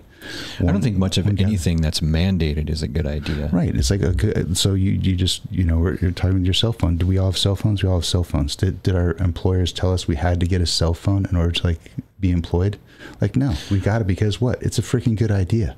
Like why? why Mm-hmm. Well, that- and that's a, funny that you say that though, because there are a lot of jobs that require that you have one, and and the company will issue you one basically that you have to carry around all the time. Well, that's fine. So imagine if you're the kind of person who just still has an old Cricket clamshell Mhm. dumb phone that you know still has just Snake and you know uh, you know Yeah, that you have to hit like on the it. five like three times. Like, Yeah. to, to like get a takes you three text, years to send hello how are you Yeah. you know a- and i mean i fuck, i'm almost to the point where i want to get one of those again Mm. i, I kind Yeah. of miss them actually Oh, now you're going the opposite direction of AI. right but now imagine you're that person and but you're really good at like sales or something and you get this job and they're like oh yeah we have to be able to get in contact with you at all times because it does require some travel so you need to have a smartphone you're like yeah i don't want a smartphone and they're like well you have to have one or you can't have the job so now i mean you could make the choice to say okay well fuck you i'll go somewhere else Yeah. Mhm. but I mean, maybe there aren't that many jobs available that tailor to your skills, and you really kind of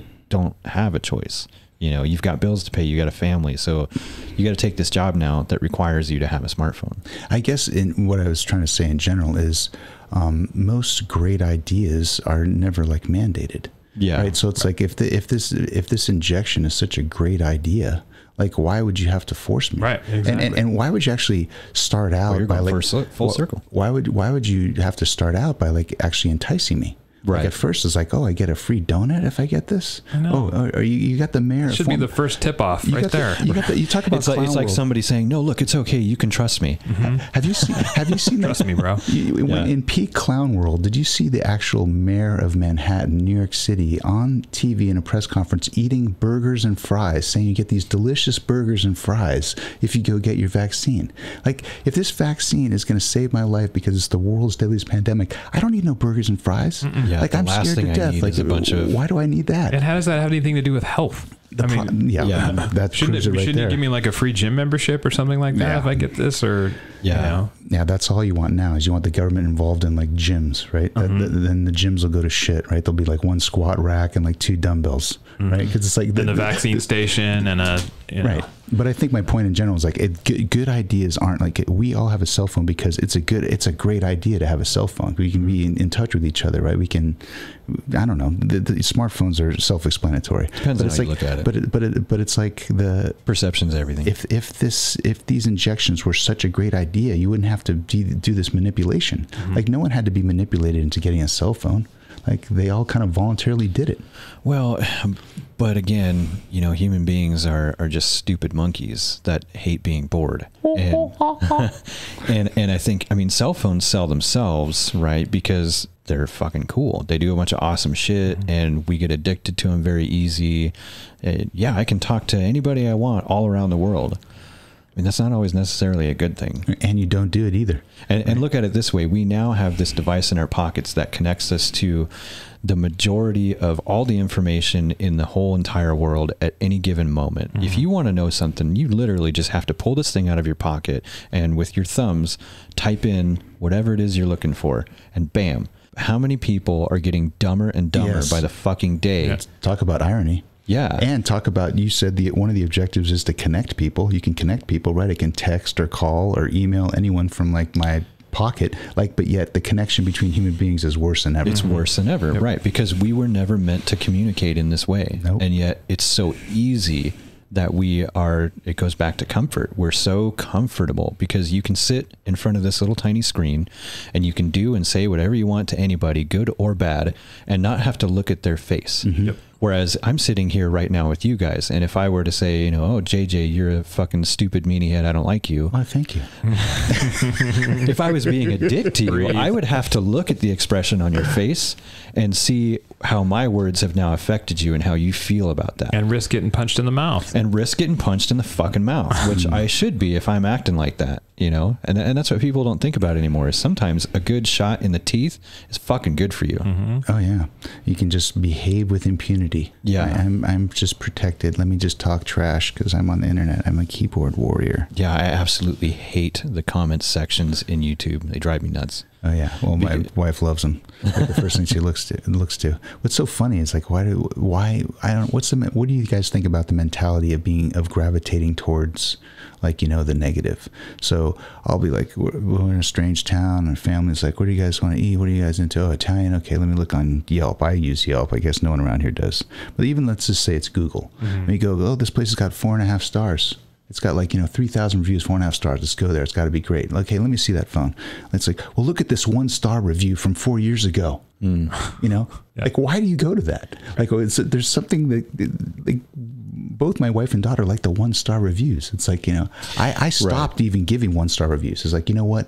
I'm going to, li- I'm going to listen to what my deceased mom used to tell me. If you can't say something nice, Right. So it's like if it's a five star experience, I'm writing a five star review on Yelp. If it's like a one star experience, I'm not writing anything. Like Yeah. I stopped that now. It's just like the on the, the YouTube comments is like you get you get those dislikes and it's like how can anybody dislike this? Yeah. you know, Yeah. it's just they're just people that, For attention. They're just yeah.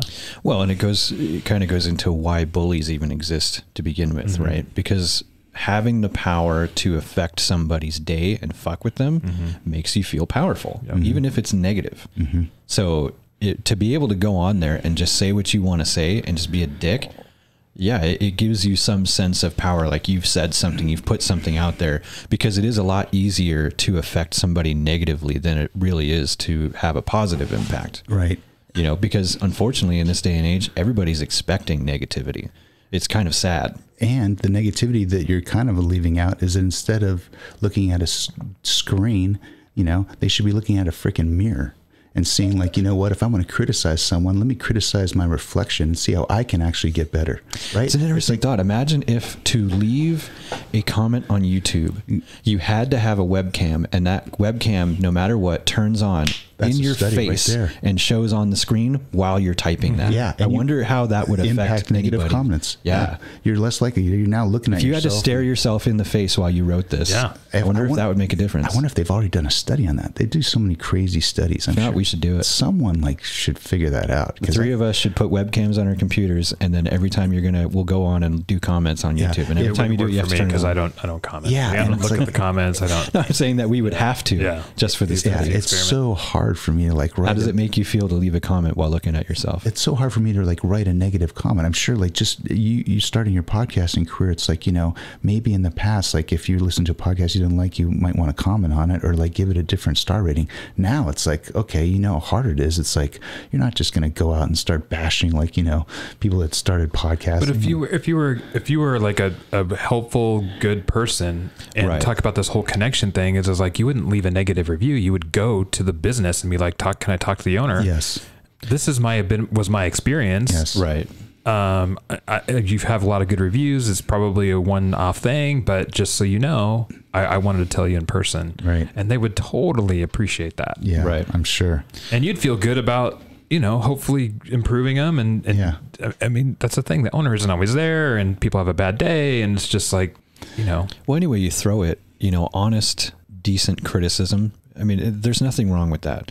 To go in and say, hey, look, you know, I, I feel like you were struggling a little bit in these areas, but here's the things that you did right that I was super appreciative of. You know, you guys handled this really well and the mm-hmm. service was great and all that. It's just these kind of things, you know, in my opinion, you might want to work in them, you know, take that Yeah. for what it is. and you You're- can even send them an email a lot of businesses you know Yeah. they have an email Yeah. address or whatever and You're not like, jumping on Yelp to just Yeah. be like, well, these fucking pricks, Yeah, blah, blah, blah, blah, blah, one star. Don't ever go there. Right.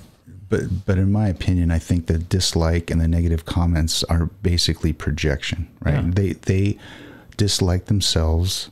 They are negatively comment on themselves, but when it's put on someone else, it's easier to deal with because then I can defer working on myself and mm-hmm. that whole Yep. personal growth Right. because I can put it on someone else, and then that also makes me feel temporarily like better. Like, look at me. I'm not this like disliked negative comment loser on YouTube. I'm like me. And so I'm like better. Yeah. But guess what? You didn't do anything. Right. Well, a huge part of it is, uh, you know, uh, uh, just attention.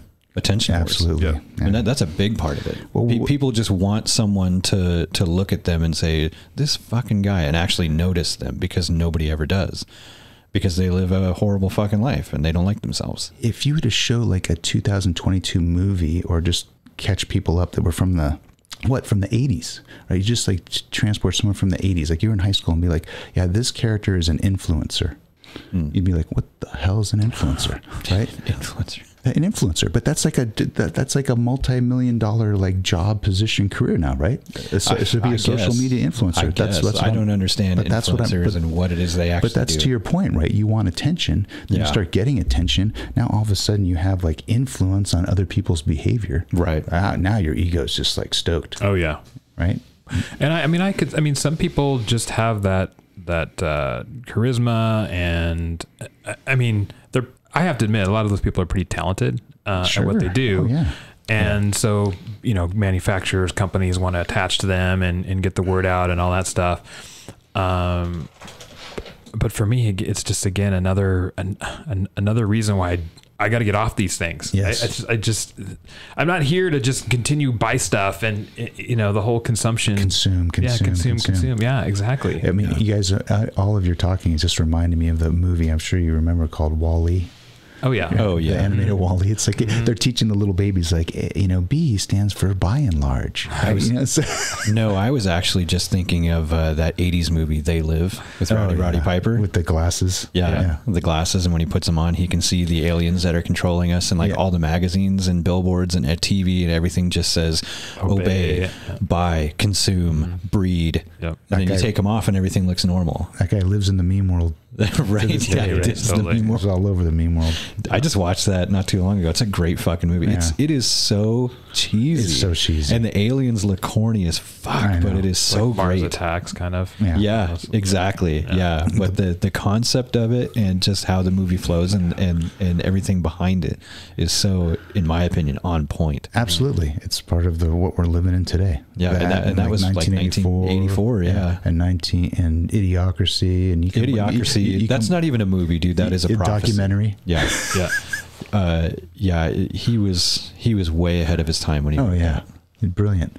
Yeah, we kind of touched on Mike Judge like last time you and I spoke. Yeah, I think we did. It's like uh, how brilliant he was that with that that that movie too. It's like what do you? Yeah, it's crazy. But so many people want to obey because their definition of life is getting along with someone else, right? And Mm-hmm. and uh, they just. I mean, I, I actually think that the three of us sitting here could possibly be in a minority that we have the capacity to have our own independent thoughts and the ability to critically think. Mm. Because I think we're just presuming that everyone pos- possesses that. And I think it's probably not true. Right? I think there's people Right. that are just genuinely like, tell me what to do. Right? I am not a slave. I just, you know, love to follow other people's orders. Yeah. You know? Well, it's easier. It It's is. totally- It's, it's far easier to just sit back and say, "Tell me what to do," than it is to think for yourself and to. or to pick a side. There's two options. Right. Pick a side. and that's No, why we have yeah. these that's why that's why these portable brains these pocket brains we have these smartphones are like so popular right because that helps to tell you what to do Oh, it absolutely Right. does. Where I do use I- my Google Calendar now for fucking everything. Tell me what to do, Google. Right. What do I need to remember today? And now you have AI. Have you seen those apps where AI will actually organize your calendar for you? For real? To tell you what to do. Oh yeah. No, I haven't seen that. Yeah. Yeah. I think, um, I mean, one of the things that, that gets me, especially around the whole consumerism and all that stuff, is the fact that, you know, the Fed keeps printing money and we just live in this um, dream world of that, that it's this, we, we live in a, a finite realm, but we can print infinite amounts of money. that's right? funny yeah and things like that. And and before when you were talking a little bit about Rand Paul, and I thought it made, made me think of Ron Paul. And Mm-hmm. I mean, he he his whole thing is is the the biggest issue that we have is our monetary system, and Is- no one understands it- understands and it no one understands it. Definitely And no he was the only one that was bringing it to light. And if we could like end the Fed, abolish the Fed, that's his whole push. Uh, then you know, you'll start to, or, or, and I don't even think it needs to be completely even abolished to where just to where you can, you and I can transact in any manner that we feel like we need to, and it'll just go away.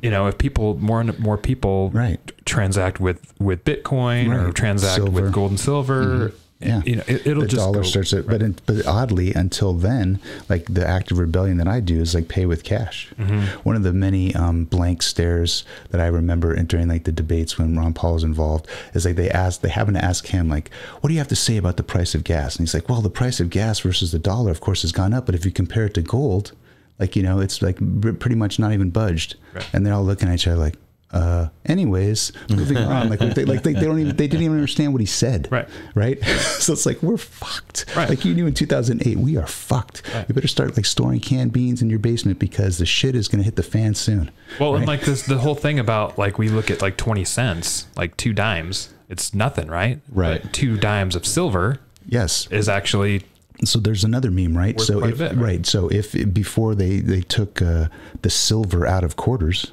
right and the minimum wage was what once upon a time it was like a, a dollar 25 Mm-hmm. if you were to get imagine if i paid you a dollar 25 five quarters in actual silver quarters how much you'd be making for minimum wage now Right. it's going to be like dollars. Yeah, it's you'd like be making more than what they're Right. paying you Yeah, wouldn't be making because a quarter now is just a steel stamped around. Exactly. If it was actually made out of silver, like they used to be, five quarters would be worth according to the market, it'd be clo- it'd be more than fifteen dollars an hour that people are paying. And I think I saw that nickels cost more to make than they actually are worth. Well, they, they did that with pennies too. So Yeah. it's, it used to be pennies, right? They said Yeah. like the amount of cost to employ people to manage and push around pennies and all the hours and all that stuff. It's worth it costs more than the actual value of the pennies themselves. So now it's made it up to nickels. Yeah. So it's not long before. So if you come across a penny that's 82 or before, hold on to it. Come across a quarter that's like 64 or before, hold on to it because those are have real metal in them, mm-hmm. Well, real copper, I believe. real right? copper and real silver. Yeah. what's what's the year on the penny again?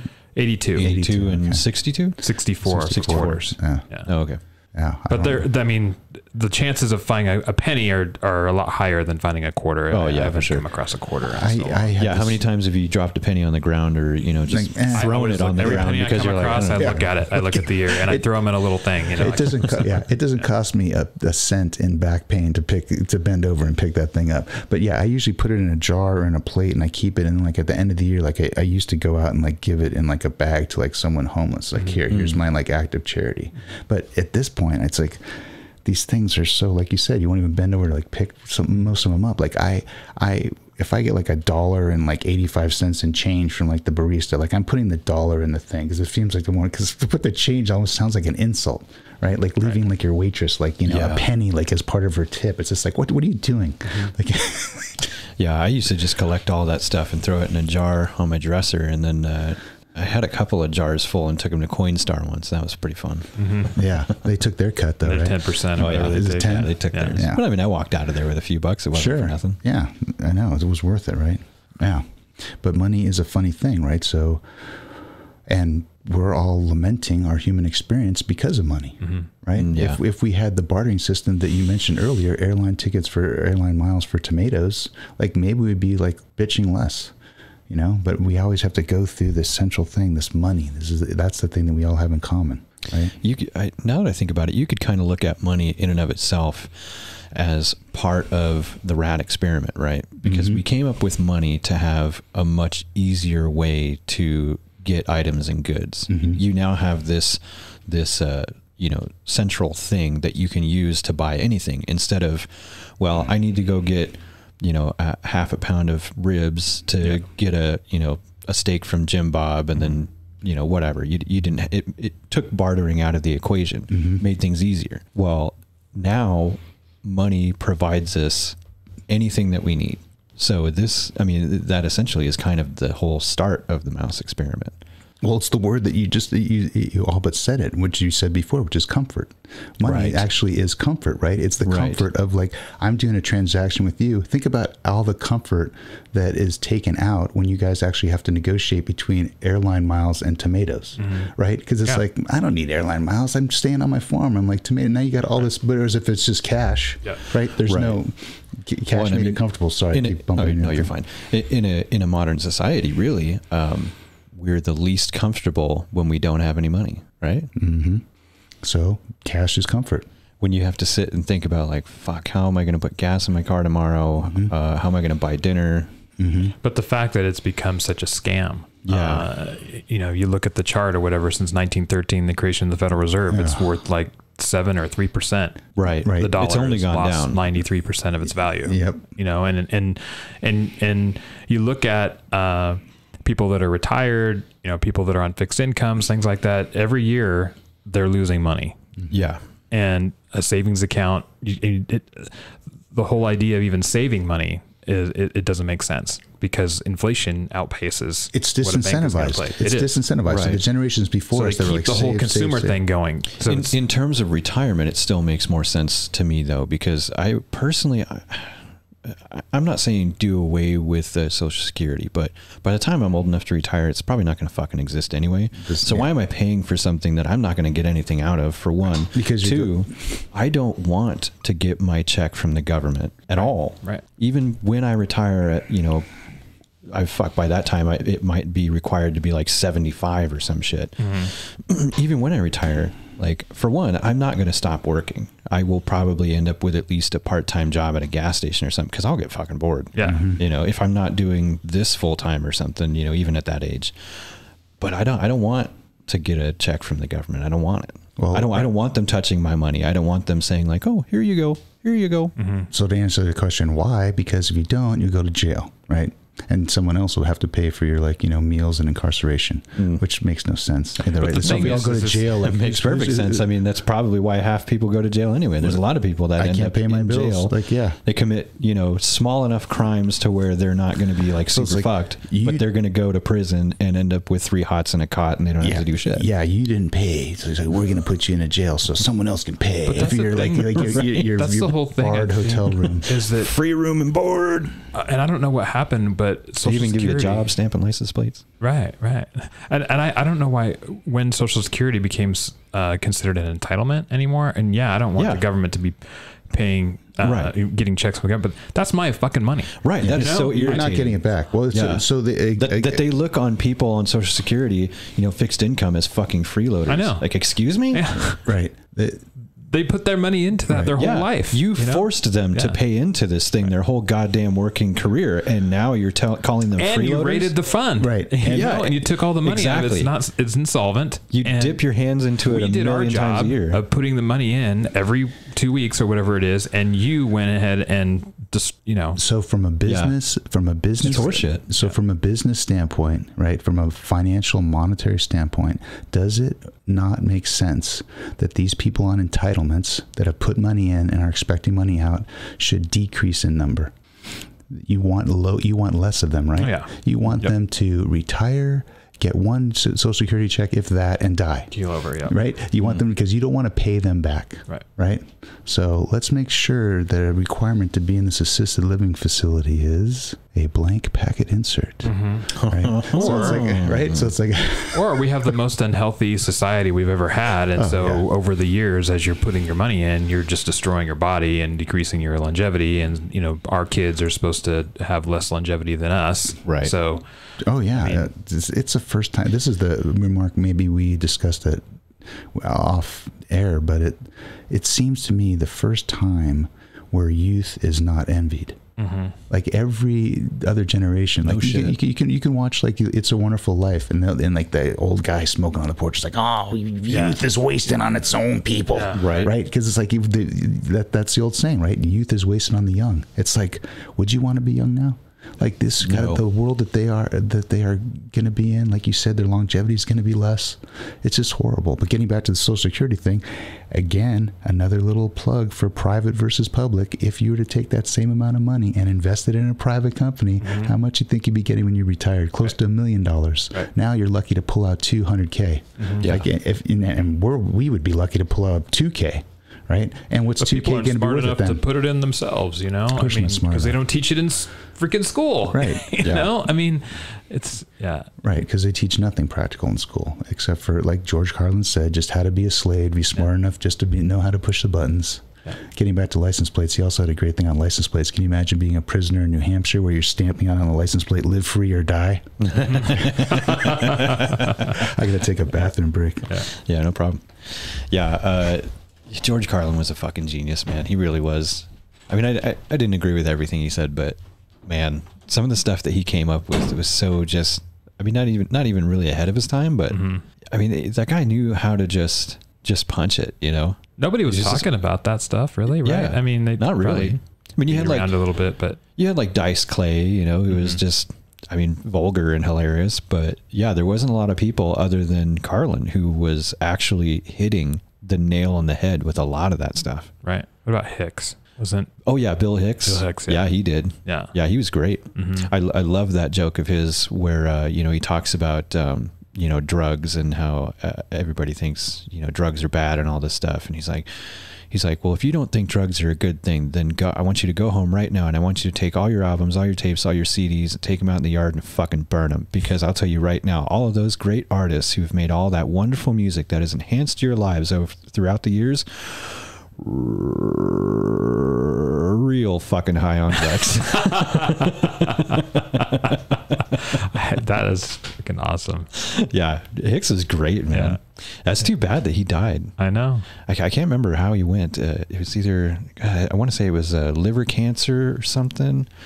Um, yeah, Joe Rogan. Uh, he talks about meeting him just shortly before he died, or what was it? was it him? I want I want to say it was Joe Rogan. I think Joe Rogan met him too, and then there was another comedian that it was That- like in the 80s, wasn't it? That he died? Yeah, no, I, no. Actually, I think it was late '90s. Oh, was it? Yeah, it was. Uh, one of one of Joe's comedian friends talks about how he always thought that Hicks didn't like him. Oh, it was a Carrot Top. Oh. Yeah, he he did a show with Carrot Top, and Carrot Top talked about how uh, Hicks always did these jokes about Carrot Top, and you know the the jokes were kind of making fun of him and putting him down a little bit. So, excuse me, he always thought that Hicks didn't like him, and one of the last things that Hicks did before he died was he came to one of Carrot Top's shows, and he caught him, you know, in the in the back by the green room, and you know, shaked his hand and you know all that stuff, and was like, hey, you know, this is a really good show, and Carrot Top was, uh, he was like, I always thought you fucking hated my guts because he always did those bad jokes about me, and he was like, no, I didn't hate you. Was- you were just easy to pick on. We're comedians. That's what we do, buddy. Right, right. He's like, no, I think you're actually great. Your shows are phenomenal. Mm-hmm. And then he died like a week after that. That's that's insane. That man. is. Could you imagine like somebody that you look up to who you thought your whole life didn't like you, and then the last thing that you get from him before he dies is, no, you're fucking great. Right. That's the thing about comedians. And they say that, right? I'm just joking around. But Well, why are jokes funny? Because in uh, Yeah. in almost all of them, there's a bit of truth, yeah, right. right? Otherwise, you Well, can't yeah. relate to it. Yeah. But I mean, when you think about it, you know, your your true friends, Oh, yeah. they know the most about you, and your true friends, they don't give in to your bullshit, mm-hmm. right? They're going to call you out on everything. Absolutely. So I mean, especially with guys, I mean, we fuck with each other the most mm-hmm. because we like each other Right. and we know everything about each other, Right. Yeah. and it's funny, The ones we don't really like, we're like, yes, sir. Nicknames and all right? that stuff. Yeah. yeah. Hey, so Bill Hicks has got a great clip on like the. It's not that long. It's called "It's Just a Ride." Right? He's the one who said it's just a ride. Mm-hmm. Right? So you ever you ever get worried about life? If you have anxiety, you should just take take a look at that clip because it's like it's it's classic. It reminds you. Right? If you're all worked up about, you know, I got to live longer, I got to wear a mask, I got to do this, I got to do that, whatever it is. Oh yeah, there's one. Yeah, it's fantastic. How long is that? Two. Two minutes. 67? It's worth it though. He's this is fantastic. I don't- I I, don't think know. of Bill Hicks, I think of this. I don't know if we'll get a. I don't know if we'll get a, a copyright hit on that. Uh, maybe. if I There do, I I a guess we'll cut it out. Is there a point to all this? Let's find a point. I love Bill Hicks, so I guess it's worth listening to. Yeah, he died February Point to my- 1994. I would say there is. I have to. We were just talking about The that joke that like he did about at an amusement drugs park. Yeah. To go on it, and how uh, feel, 'cause how if you think drugs are bad, go burn all your tapes and CDs. Yeah. Yeah. round and round. It has thrills and chills, and it's very brightly colored, and it's very loud, and it's fun for a while. Some people have been on the ride for a long time, and they begin to question: Is this real, or is this just a ride? Pretty And sure he had, uh, anxiety issues they and stuff, too. To us and they say, "Hey, don't worry." A lot don't of comedians do. ever, Mm. because this is just a ride, and we kill those people. Shut him up. We have a lot invested in this ride. Shut him up. Look at my furrows of worry. Look at my big bank account and my family. This is, has to be real. It's just a ride. But we always kill those good guys who try and tell us that. You ever notice that? And let the demons run amok? But it doesn't matter because it's just a ride. And we can change it anytime we want.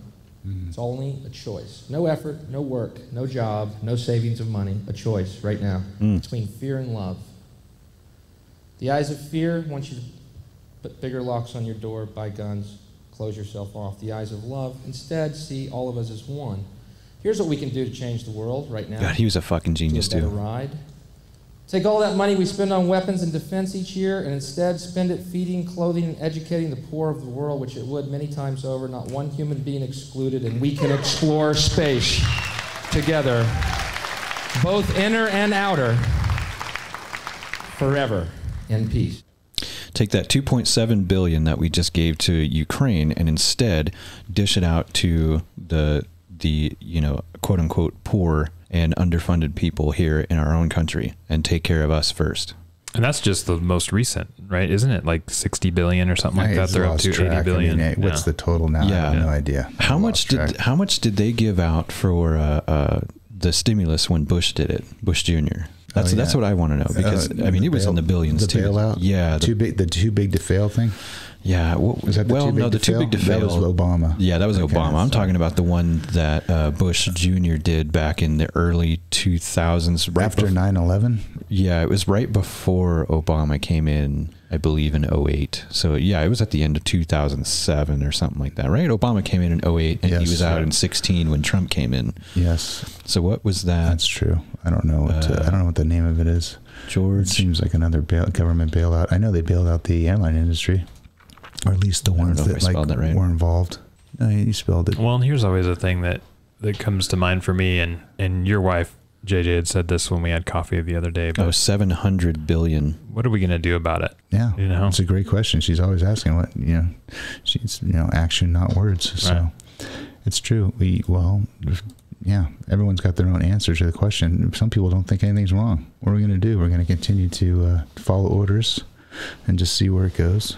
Is there a date there? What's that date say? I just see Charles's name from here. The, name of the author of the article down below is October second, two thousand. October 2nd, 2008. Yeah. So October 2nd, 2008. So yeah, this would have been the last thing that he did before he uh, handed over power to Obama, I Yeah. believe. Yeah. So Bush signed 700 billion financial bailout bill. And this Yeah. is from NBC News at that time. Yeah. So 700 billion, right? Yeah. And do you guys remember how much you got from that? Oh, zero. You didn't get any? Yeah. This was in 2008. Yeah. Yeah. Yeah, I don't remember getting anything. Okay, so it it depended on your household income, how many kids you had, all that stuff. Um, I remember, I think I got, I think I got like six hundred bucks or something. Mhm. But pretty much, uh, uh, depending on those factors, everybody in the U.S. got a check, Mhm. and it was somewhere between three hundred to, if you got anything, it was somewhere between three hundred bucks and like, I want to say two grand. And so the whole idea behind that was uh, stimulating the economy to take that money and put it back through all of the businesses, everything, right? And there was a lot of argument that okay, well, if everybody goes and they just they just spend that money, well, where's it going to go? It could end up in China, it could end up in fucking Europe or whatever because of how much we import, right? Because we don't fucking make anything here anymore. We really don't. Um, and that's and that's all good, great, and grand, and that's and that's not a bad argument. But when you look at the grand scheme of things and what this was designed to do was to stimulate businesses here in the states, and it did that, in my opinion, it did. Because whether you were going to buy a TV or you were paying your rent or your car note or whatever it is you were doing with it, you know, they didn't stipulate what it was for. You could spend it on anything and it did exactly what it was supposed to do. I took my 600 bucks and I took a trip over to Seattle. I went to uh, the Experience Music Project, um, stayed in a hotel, you know, bought dinner over there, uh, paid for gas the whole way there and back. I mean, it, it went to a lot of different things. So this was 700 billion that went to almost every person in, in the United States. So even 2.7 billion, which is a minuscule amount. If you were to take that still and put it only towards one thing, which would be the homeless population or helping out, uh, you know, uh, disabled veterans. I mean, anything that you put that 2.7 billion towards, that's a good chunk of change. That's definitely going to help out. That's better than the couple of million dollars that, you know, some celebrity might donate to cancer research or something. Or shit, even cancer research. $2.7 billion. I mean, that's going straight to, you know, pharmaceutical companies that really aren't going to do shit with it because even if they find a cure for cancer, they ain't going to fucking give it to us. Well, and I think that uh, what we've seen, if we look at history, is that we are in this continuous cycle where we are continually uh, letting our the financial terrorists run amok Yeah. and creating these problems, and then the answer is a bailout, which is debasing the currency more and more and more because all they do is just print put numbers on a screen. And at some point, I feel like people need to wake up and realize that it's completely mismanaged. And Right. and I mean, I mean, uh, how I stand is I'm completely for abolishment, but at least uh, coming up with some serious uh, ways of fixing it. Because as as you can see, this was in 2008. What did we have in 2020? Uh, I mean, it's it's like a, it's on a cycle every you know decade or more. There's some sort of financial catastrophic event, which puts us more and more and more into that slavery mindset to where Right. or, to, or position where the value of the currency is going to be so little. And these guys, you know, the people at the top don't give a shit if they're giving away seven hundred billion dollars. It's a freaking drop in the bucket for them. But for us, it's a lot of money. And so we're going to be the the dollar is going to be continually de- debased, debased, debased until we get to the point to where we are literally slaves, and and they yeah. are at the top. And Yeah, when you look at the trillions of dollars that we are now in the hole on, right, and they just keep it'll never be paid back Yeah, ever. never. The thing is, is that our total financial system would collapse if it was paid back because it's all based on debt, and that's the whole thing. Like Robert Kiyosaki says, and all that. It's it's and these guys have figured out how to how to um, work around it and become wealthy. Is that you become wealthy by by creating debt. I mean, uh, uh, you hear all these people talk about don't go into debt, don't go into debt, and and and I made some mistakes too, where I'm like, you know, I, I don't want to spread spread myself too thin. I sold all my homes and things like that, and it's just like, no, you should be taking as much debt as they'll give you, so that you can build wealth on that. That's the way the system's built. How many of those? Right. How many of those people that got Bush's checks for like six hundred bucks put them into a savings account? How much, would it be, how much would it be worth now? Zero. exactly. You know, Right. it'd be worth. The- what- the interest rates so low, so they're encouraging debt, right? Yeah. So they want you to be debt because when you're in debt, what are you? You're the slave that you just Right. described, right? Exactly. Yeah, And- interest rate is what like 0.5 percent or something like that. At 2008, I don't know, but the, but the, the thing is, they wouldn't do savings, right? They want, like you said, that it was intended to be put back into the economy, Right. And because so the economy only survives if it's there's this constant consumption. how much of that, Right. and, and when you Right. consume, what do you do? You pay taxes in most places. Like, so how much of that money is actually going back, right?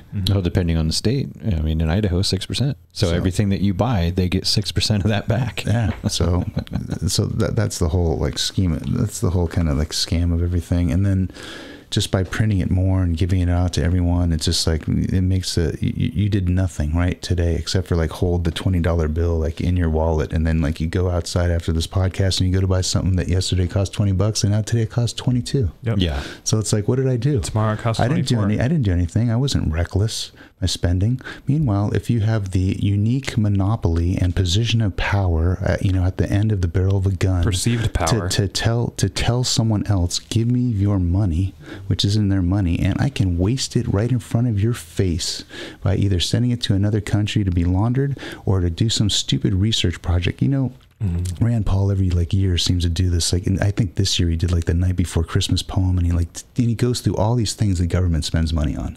Like, mm. if you had to li- look at this list or hear this list moments before you participated in the voting ritual, like you would probably be changed. Like you know, you okay, show up with your te- your check. Don't have it like bleed out to you like every you know paycheck, so you don't like silently know like what you're paying. Instead, get all your money, come to the voting place Yeah. with your check, listen to the list of stuff the government's going to spend your money on. You're about ready to hand them, and then cast your vote. Mm-hmm. How do you think things would be different? Right. Oh yeah, they'd be insanely different. Presume, presuming that you know there was actually election integrity. That's the that's the big premise, right? Which we know there's not. But the, you do nothing. You just you- getting back to retired people. They do nothing. They just tried to skimp. They like avoided vacations. They work double shifts and Yeah. three jobs and they're just like totally trying to get money so they can finally retire because they've always wanted to do one trip to Ireland or whatever it was and then they get there and they find out like oh flights are so expensive Yeah. like I can't afford it anymore mm-hmm. e- even though I like I scrimped and saved my whole life right so you just like found out like you're being released from slavery isn't as you're just in another cage mm-hmm. You Right. are. You're- I let you you're out of this Yeah. I let you out of this cage you think you're free and you're in a bigger cage mm-hmm. Yeah. Yeah. Essentially, we're all slaves. indeed And, and there's a hierarchy to it. We, you know, we are slave to the lender, and the lender possibly is slave to the government, right? And the government is slave to whoever they owe money to. But unlike the people that you mentioned that are in the upper up in the hierarchy, right, that some people don't want to exist, you can't behave like them, right? You owe your debt. Oh, You yeah. owe your debt. Right. Right. If you make bad decisions, if you decide you're American Airlines and because you have the great name American, you're mm-hmm. representing the whole country. If you decide that you don't want to have and pay for the tight security that, like, say, El Al has to try and f- fly to Tel Aviv, and you're not going to screen every single individual before they get on a plane, and someone hijacks it and causes not only your stock to crash, your plane to crash, your whole business to possibly crash and go bankrupt, right? You don't have to pay off that debt. Guess what? You go to the government and say, but we're American Airlines. You can't let us go out of business. Give us a handout. right? You talked Right. to us about this. Is we, we you wouldn't let our company fold if we went along with your little scam. Yeah. You there know? you go. Yeah. I so, mean, so there, you- so there you go. So it's like you have to pay off your debt. A, a place, a, a, companies that are so big that they're too big to fail, they can make reckless decisions, and when they lose, they get bailed out. right. Right? Right. So you're the little guy. So this is why, like, even the, in this book that I just read, uh, the the democracy, the God that failed. One of his arguments is that, like in a kingdom, in a monarchy, at least, like it's the the royalty is under the same rules, laws, regulations as the people. Right? Mm-hmm. Clearly, we live in a society where the rich, the powerful, the politicians are not under the same rule as the people. Right. Yeah. Because how- who went to jail for all this financial terrorism? Nobody. Nobody. Yeah. Well, yeah. It, um, I've, I've brought this up before. Uh, uh, do you guys ever see that movie, The Big Short? Oh, it's Oh, yeah. fantastic. Yeah. Best Fucking- picture nominee if it didn't win. Yeah. They did margin call. Even if you only watch it for the part of uh, Margot Robbie in a bathtub, it's it's worth the watch. But uh, yeah, at the end As of she it, explains uh, what uh, subprime or something like that. Yeah, one of those things. Uh, That, that's that's what I love about it is because the whole movie, you know, they they talk about stuff that Anthony Bourdain explaining to you what, like, you know, right. Most people aren't going to understand what's going on and all that. So there's several spots in the movie where they they bring in you know some celebrity or something, um, and they and they they pose as themselves mm-hmm. to explain in layman's terms what the fuck is going on, mm-hmm. and it, and that's what I love about it is because it is easier to follow that way. Yes. it makes you think you're like, dude, are you fucking kidding me right now? Right. And but at the end of it, you know, they just put a couple of you know the blurbs on the screen that you read, and and it talks about how it was like through that whole housing market crash and how all of that came to be and how they they fucked up the entire economy with the bullshit they were doing is basically one guy one guy who was basically just a pawn he was a fucking scapegoat ended up going to prison mm-hmm. and we're talking like rich guy prison where there's tennis and tivo and mm-hmm. probably catered food and stuff Sure. i mean he's not i guarantee sounds he like wasn't- retirement. yeah, right. I guarantee he wasn't having a bad time. Mm-hmm. Uh, yeah, that's insane to me that they knew what they were doing the entire time. They knew what they were going to cause. Maybe not on that scale, but they knew it was wrong. Mm-hmm. They're they're selling subprime loans to people that they knew couldn't afford them once they once they're expired and hit prime. They knew they couldn't afford them, and they sold them anyway because they were making so much money.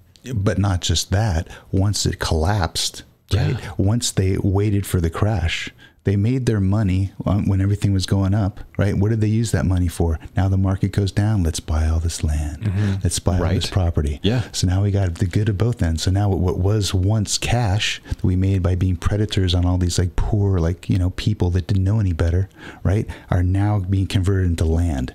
Now we own the land. Right. Right. Well, in the middle of that is is the whole fact that yeah, they sold those subprime loans, but then they packaged them as a you know They high quality yeah. investments. So people They packaged their, them as triple A investments, Right. and they weren't. So- they were and they weren't. built on garbage. And they were built on garbage, and then so people invested in them, regular people with Yeah. their retirement funds and whatever else. Yep. And then they just got fucked. And So it wasn't just the the homeowners that got fucked; it was everybody. Right. Everybody got fucked, Right. except for the guys who were smart enough to see what was going to happen and bet against the market. The, the big short. Right. Right. The eccentric uh, physician who likes heavy metal. Right. The the barefoot uh, Christian Bale character. Oh yeah, yeah, yeah. Who's you know people had to be patient with him, but he but he finally he finally came around. But uh, this is analogous for me in the same exact way as what we're going with the experimental injections, right? So the important character in The Big Short is the brief counter that in a confrontation meeting that they had with the woman who represented, I think it was Moody's, right? So you have to have some kind of Yeah. quote objective third party to say, oh, Mm-hmm. these packagings are great. These are really triple A rated when the truth of the matter is they're like B. Right, or they're low, or they're Oh, yeah, worse. they were- they right? were worse So you're B. so you're basically like putting a piece of dog crap, and you're making it look like this is shiny, like great toy, this very valuable Right. thing, right? But You're you- wrapping cat turds in gold leaf and the- selling them for you the, know the person, of but the person that's saying right, the supposedly objective third party, Moody's or whatever their competition was, she admitted that like we have to give them a good rating, otherwise they're going to go to our competition and they get the rating. So they have to give this thing a good rating. They're getting a kickback to give the good rating, mm-hmm. right? Yeah. it's like like uh, if you're into cars, which I'm not, but you like do car and driver. It's like, well, they have ads in this thing too, right? Like the, the, this ad by Chevy, it's like three page ad. It's like, no, oh, no wonder like the new Corvette's got this five star like high rate, but no one puts that together. Right, no one puts Right, that together. yeah. It's like, oh, look at this new thing on the on the Corvette. It's fantastic, and it's a Chevy loving magazine. When they are billing themselves as being objective, third party, we're going to do this independent review, right? Much like the CDC, right, or the FDA, where it's just completely funded by the pharmaceutical company. Right. So it's like, of course, right? You know, you, you, it's even Sony got busted like years ago. There was a fake these fake accounts that were created to give Sony movies these huge high star ratings, right? So it's like everyone goes on, they look like, wow, this Sony movie, they don't know it's by Sony, but this movie is like really great. Well, if you extrapolate, they finally found out all these bots that were Yeah. created by Sony made it look good. Well, there was a there was a big deal on uh, Amazon with that too, which they ended up finally cracking down on, getting rid of all these uh, you know fake ratings and reviews and all that shit because people were using bots to go onto their store pages and leave great reviews and high star ratings on all this just Chinese junk that they were fucking selling. and that's the equivalent of like Moody's in The Big Short saying like this isn't junk, this is actually very valuable, this is AAA, right? Right. So ever, so then that allowed the whole charade to go on, because if the market could actually see nakedly for what it was, you'd just be like, what what is this crap? Mm. Why is this valued so highly, right? and then the crash would have been not saying it wouldn't have occurred, it may have been less intense, right? But it's the thing is, is it is it nothing nothing got done to rectify it. So we're There's we're no build, we're building on that in, event that that yes, there's still all of those bad investments or whatever that that are still on the books that Right. haven't been dealt with. Yeah, and, and And it's just building and building and building. well, and I don't know if it's I don't know if it's true. I haven't looked into it, but at the end of that movie, they were saying that they're doing it all over again. They're mm-hmm. doing the same exact thing, just with a slightly different set of rules, and they're calling it something different. right. So it's just a matter of time if that's true before it happens again. And you can see it. I mean, how how long can the average Joe survive with how much food costs now, how much rent costs now, how Right. much gas costs now? I mean, They want it day to day because that's the way a slave behaves. Come to me every day, big daddy government. Right. Open your hand. I'm going to give you universal basic income. I'm going to give you just enough to survive for the week. Right. Come back to me next week. And as far as I'm concerned, keep going back to your slave job. Keep mm-hmm. pushing those buttons. Yep. and keep making money for me. 'Cause I'm your meanwhile, we'll have daddy. AI do your job in next year. Yeah, Next so year, then- AI is going to do your job. And so then Yeah. you're out, and I'll show you like how much we. and care then about we're going to have to move you to the uh, you know the camp over here because you can't afford you you Yes. you, you you you can't uh, you know qualify for any of these new jobs. which won't be a white collar prison, like Right. you mentioned. We'll- we'll It'll be a FEMA camp. Yeah, we'll we'll keep you over here. We'll keep you sheltered and all that stuff, but you won't. You know, It's going to Yeah. be like solitary confinement. Well, that, that reminds me of this uh, this uh, article that I found. It's from Fortune, and and I honestly uh, didn't get to reading much of it. Um, but uh, the the headline of it is "Robots are coming," and it doesn't look pretty for workers. Get ready for long hours, less pay, and fewer jobs. It says uh, a new study examining the effects of robots and automation. Uh, that what is that? The Chinese make this bigger. Labor can see it. market Chinese shows- labor market shows workers are under fire. Which, I mean, if this is just talking about the Chinese labor market, okay, sure, but it is talking about Americans, and it says Americans who worry about robots taking their jobs are just quote fear mongers who've watched too many movies, right? And so it's asking a question. But it says artificial intelligence (AI) uh, automation and robotics will boost workers' productivity and spur economic growth while creating new, higher paying jobs, or at least that's the argument. But new research shows the rise of robots may not be as beneficial for workers as some claim. Automation could have positive impacts on economic growth and productivity, according to The Economist but workers might not reap the rewards. Exposure to robots had negative effects on employment, uh, leading some workers to drop out of the labor force and increasing unemployment. So uh, the way that I look at this, what they're saying, you could liken this to, um, you could liken this to the, uh, you know, the ever evolving problem of illegal immigration. So illegal immigrants come into the country, they're undocumented, they don't pay taxes, they'll work for next to nothing, you know, and so they go in and And, and I've I've heard every argument in that whole gamut of well, if somebody and if an undocumented worker can come over and take your job, well then it's not a very good job, and you should be you should be fucking embarrassed to have your job stolen by an undocumented worker. And I kind of get that mentality, and maybe that might be kind of true to a point. But when you look at this whole thing with robots, that that's kind of the same thing. Because if a company can just if they can just pay a, to buy a bunch of robots who can do what you can do, and they don't have to pay it, they don't have to give it lunch breaks, they don't have to give it uh, paternity leave, they don't have to give it time off to go on vacation and relax. They don't have to go to the Retirement. bathroom to take a dump Yeah. in their break. Yeah, exactly. They don't have to worry about you calling in sick. They don't have to worry about paying your retirement. Just software so the updates. upfront so the upfront right so software as a service whoever is controlling the software and the robots is going to make big fucking bucks because if you want I, I mean I- know this for a fact. All the machines that we use at my work the software is all software as a service. You have to pay a monthly subscription Mm-hmm. to to even use it. So i mean those guys and it's a, it's a ridiculous amount in my opinion. But Mm-hmm. yeah when you look at how this how this is this just the headline alone makes perfect sense.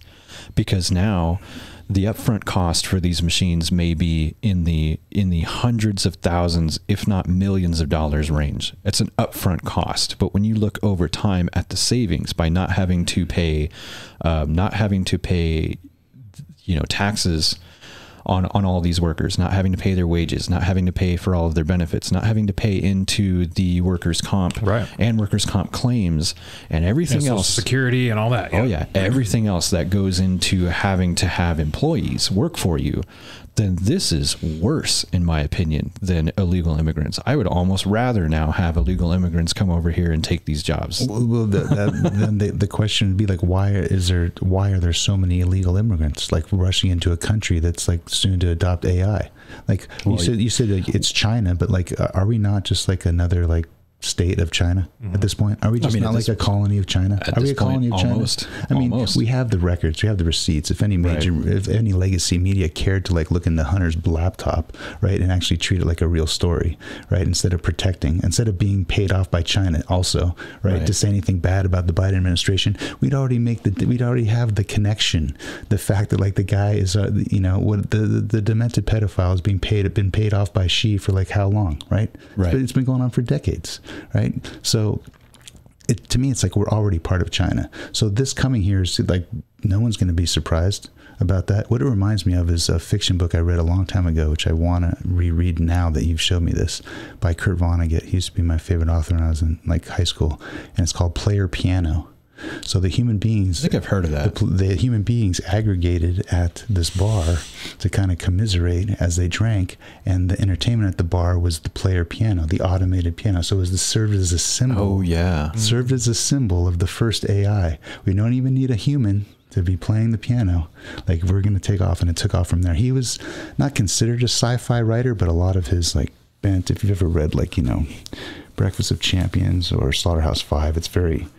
It, it has a lot of sci-fi type overtones, but player piano is what this reminded me of. Yeah, it's That's kind, that's kind of a funny thought that the player piano you could think of as actually the first computer long before they built that giant one uh, at, at what is it, MIT or whatever that took up an entire room. IBM or yeah, Yeah. IBM, Watson. Yeah. Yeah, that's that's that's crazy to think about. Yeah, so it's so I think I might revisit. I don't read much fiction at all like these days, but I would go back and read. That's not not that long, but yeah. I, I, so I don't. It's confusing to me. Like, why would you want so many hu- more human bodies in this area if you're just going to end up replacing them with machines, anyways? Uh, Well, yeah, because it because there are people coming here that that will there are people coming here who want something, right? And so if our government is is continuously and increasingly just giving shit away, uh, you know, oh, oh yeah, you're an illegal alien. Well, you can still go get a license. You're an illegal alien. Well, here's a bunch of money for you to start a business and have a great life here in the United States. Oh, oh, oh, oh, natural born citizen. Fuck you. Get out of here. Yeah. We're not giving you anything. yeah, why wouldn't you? Oh, but but you, Jose, or you know whoever, come on down. You know, we'll we'll help you out. We'll give you free health care. We'll give you a cell phone. We'll give you all this shit so that you can make a great life here in the United States. What's going to happen? Well, more than likely, that person is going to vote for you. And that's what they're doing. They're they're bringing in people that are going to vote for them so that they can try to hold power. But see, I don't even know why that's necessary because when you can get 81 million votes while staying in your basement because everything's mail in now, mm-hmm. right? When you can have like a stroke and be a vegetable on TV in the state of Pennsylvania, right? And like wearing a hoodie and like just basically barely utter like complete sentences, Well, if right? you could and, and win because like 56% of like your votes were like mail in votes. Well, if you right? could technically get every vote that you wanted to just by hacking into some Dominion voting machines and then conveniently burning them in a fucking warehouse fire, I mean, yeah, so- why do you need all those people? Right, so I'm but you can't you can't be that obvious about it. Come on, JJ. I'm trying to, but I'm trying to drill deeper. So, we, so we don't, we don't really need them as a labor force because we're going to have AI doing these jobs anyways that they would do, Right. Because they're all low skill. We, we're presu- we're stipulating to that. At low skill initially, right? But who knows? I mean, as it progresses, as it progresses, I mean, Theoretically, if you're believing that the, the, it's still the land of opportunity and the American dream, yes, someone could come across with no skill at all and eventually be the guy writing the subscription for the software that does the AI. Yeah, that's theoretically possible.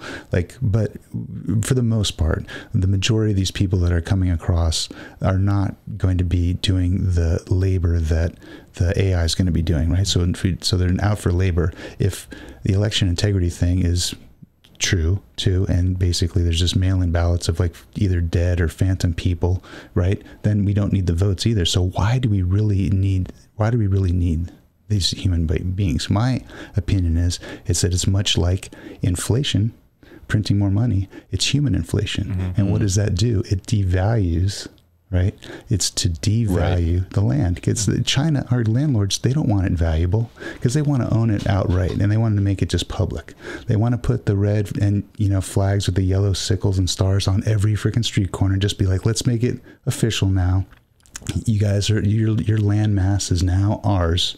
We just own you all, you bitches, because you're no longer valuable. Because anybody can come go to your country. You just need to pour across the border. There's no system, rhyme or reason. All you got to do is put your two feet over the line, and you're on this thing, and you're now part of it. And guess what? That devalues everything. Oh, think about think about it. My father, and this is why it gets personal.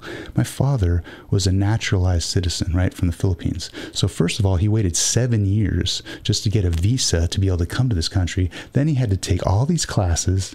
He had to pass all these tests just to become a naturalized American citizen. So he went through the whole process. What was the result? The result was, and when I told him, like, hey, dad, why do you keep taking the Chevy to the shop every week? Why don't you just get like a Toyota like our neighbor does? Oh, he flew off the handle. I make my money in this country and I'm spending my money in this country. And as Right. he's yelling at me about how patriotic he is, because he flew the flag in front of the house every day, not just on Flag Day and 4th of July. And I looked around the kitchen as he's yelling at me and I noticed every single appliance was a United States made appliance. Back then, they, they actually made in the United States. But I was like, wow, this guy's taking this thing really seriously. But now that doesn't matter, yeah. right? It doesn't because you just walk across the line, you're in. And so I think it just devalues all of us. Well, and, and I mean that that whole thing is completely devalued at this point anyway because again, we don't make anything here anymore. Yes. I mean not much, Very little. you know. And and if it is if it is labeled made in America when you read the fine print, it's really just assembled here. Yes. All the components are made in Mexico and Taiwan and China and mm-hmm. you know Germany and all these other places. Yeah. They're assembled here. Even fucking Harleys anymore. They're not made in America. They're assembled in America by American hands, but they're not made in America. Yeah. but the thing, And they're not hand. you all right over there? yeah, the thing, the thing is for for me though with the whole. I mean, I don't believe in borders or any of that stuff anyway. So, uh, but I do believe in people wanting to do the best they can for their families, and so, yeah, the the the the different programs and things like that that are available here can that can make their life better. I don't blame people for wanting to come over here, right? Yeah, I, I don't either. and especially the chaos that we've created down there with the drug cartels and all that stuff. It's, Right. it's just it's just created an environment where right, it's because like, we don't wanna- feed that shit. The I U.S. government is one of the biggest drug and gun dealers in the world. Well, yeah, and the Mexican government is so corrupt as it is anyway. Right. Uh, you know, and so th- th- they're suppressing their people and everything, and so yeah, the, I, I, I, it's no brainer why you'd want to try to do the best you can for your family. So, uh, for I mean, for me, it's it's it's we're, we're not going to to to solve these problems with with more government. It's it's just not. And and that's what people seem to think is oh yeah, we'll do UBI and you know, we just have to vote harder and all these different things to get the right people in there. But at the end of the day, I think we've seen that it's just a failed experiment and it's just run by criminals. yeah. Oh yeah, Uh, th- th- uh, getting back to my point about like the law is not universally applied because if it was universally applied, how many people that voted McCarthy in for like Speaker of the House would be in jail? Mm-hmm. Because they've all got criminal backgrounds. They're all mm-hmm. basically criminals, but they can get away with it because they're connected. They're in the club, Right. right? As Until Harlem- they until they do something they're not supposed to and then they like what go to Epstein's Island. I haven't seen any of those people held accountable. Right. You know, the pimp was uh, held accountable, but she pimped apparently out fourteen year old kids to nobody. Yeah. I'm surprised that chick is still alive. yeah. Yeah, yeah, it, it's fucking beyond ridiculous to me how even for the smallest infraction, any one of us will, you know, if we get busted, we get, you know, I mean, from the most minor thing, a warning, but a ticket or end up in jail, fines.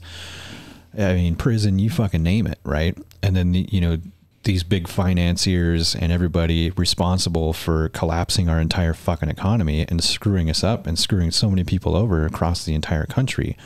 Nobody gets in trouble. right. I mean, Pe- the people committing the greatest the greatest real crimes are the- fucking criminals, you know, I mean, Yes, on top of murderers and everything. Because when you think about it, there's a lot of people who they lost their homes, they lost their livelihood, they lost everything. And how many of those people ended up killing themselves? Right. oh, suicide. So many. It's all part of the plan. It's another part of the plan to to Depopulate the planet. depopulate the planet, or, Right. or to just en- enslave and and But in but in a sense, that blood is on their fucking hands. I mean, that.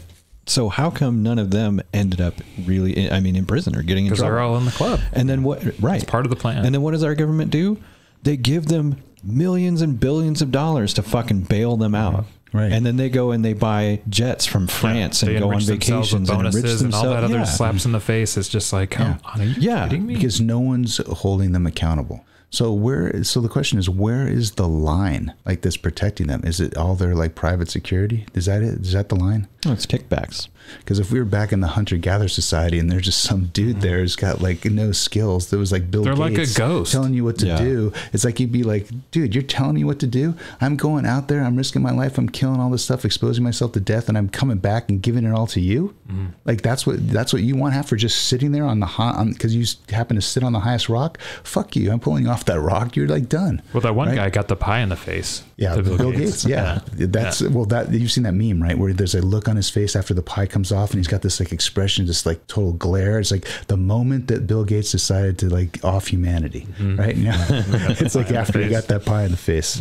Yeah, Well, funny, haha, but probably whoever it is that works for Hillary is protecting these guys. They do a pretty good job. Oh yeah, They- they- fantastic. Yeah, but th- there's no accountability. That's another reason why Yeah. the Sam Bankman-Fried story is intriguing, mm. right? Because now he's got like a Clinton appoint, appointed judge who was somehow involved in some Epstein case. So this judge is already being tainted, like with the mm. headlines. So now we're all looking. Right, the guy's out on bail, two hundred fifty million dollars. His parents' home in Palo Alto is only Oh, two Bankman. two million, right? So where's he getting another two hundred forty-eight million? Well, the judge said like we don't have to release the names of the co-signers on your bail Yeah, because they're going to get harassed by the media. So he's out on two hundred fifty million dollars bail. So we're all looking to see like it, is this guy in the club or not? Mm-hmm. Is someone going to be held accountable? I mean, I didn't have any money with FTX, but imagine having your life savings with FTX. Right, clowns like O'Leary from the Shark Tank are saying like, "Oh, my money is safest in FTX." Right? He's even getting dressed down by like people on CNBC. Yeah, it'll So be we want- interesting to see what happens Yeah, to we- him because when know. you steal and or simply lose a whole lot of money from a lot of very powerful people, I mean, probably not going to work out very well for you. Right. And yet he's going to go free, right? With I mean, if he does go free, that's what we're all kind of watching. And he's with impunity. Meanwhile, someone like Tom Brady or Larry David, who spoke up on that behalf of the company, is now going to have to face like legal repercussions because they're getting sued. Yeah, what is what is Brady's uh, involvement in all of that? Because I'm not quite clear on that. Have you, you haven't seen the FTX commercials like where he was on like oh hey look and he's like you know, he's like he, he talking to like the bartender in Boston and he like doesn't want him to come back to the Patriots and stuff you know so it's no, like, other other than when I'm watching football, I don't ever watch commercials. There's okay, so there's a there's a he was basically a spokesman for Oh, okay. FTX. So people are saying like, hey, you've, this is your reputation here. Like I invested my money based on your reputation, you know. And so I, but was he like a co-founder of some sort or something? I don't think so. I mean, it's, it's one thing to just be a spokesperson where you're paid to say good stuff about something. I don't understand how that qualifies him to be in any way responsible for that. I mean, it's a job.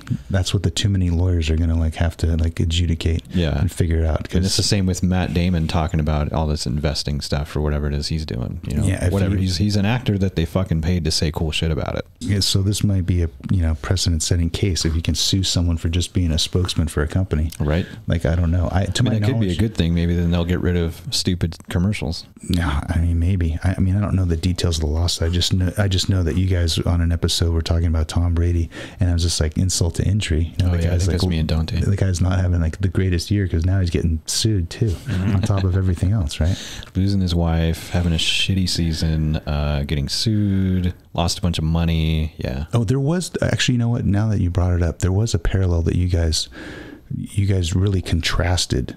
You wanted to contrast the NFL with like the military. Somehow the military got brought up in the same kind of uh, thing with it, and and, and what I- That, that was that. I think that was Brady. Brady was contrasting something with. Oh, uh, really? 'Cause I yeah, haven't with heard the NFL Brady with the episode yet. military. Yeah, a lot of a lot of people were pissed off about how he, not only how he worded it, but the fact that he brought that up. It's like really, yeah, being in an NFL training camp has nothing to do with being in the military. You fuckface. Okay, so th this is where I will draw similarities between the NFL and the military because how do they treat their veterans?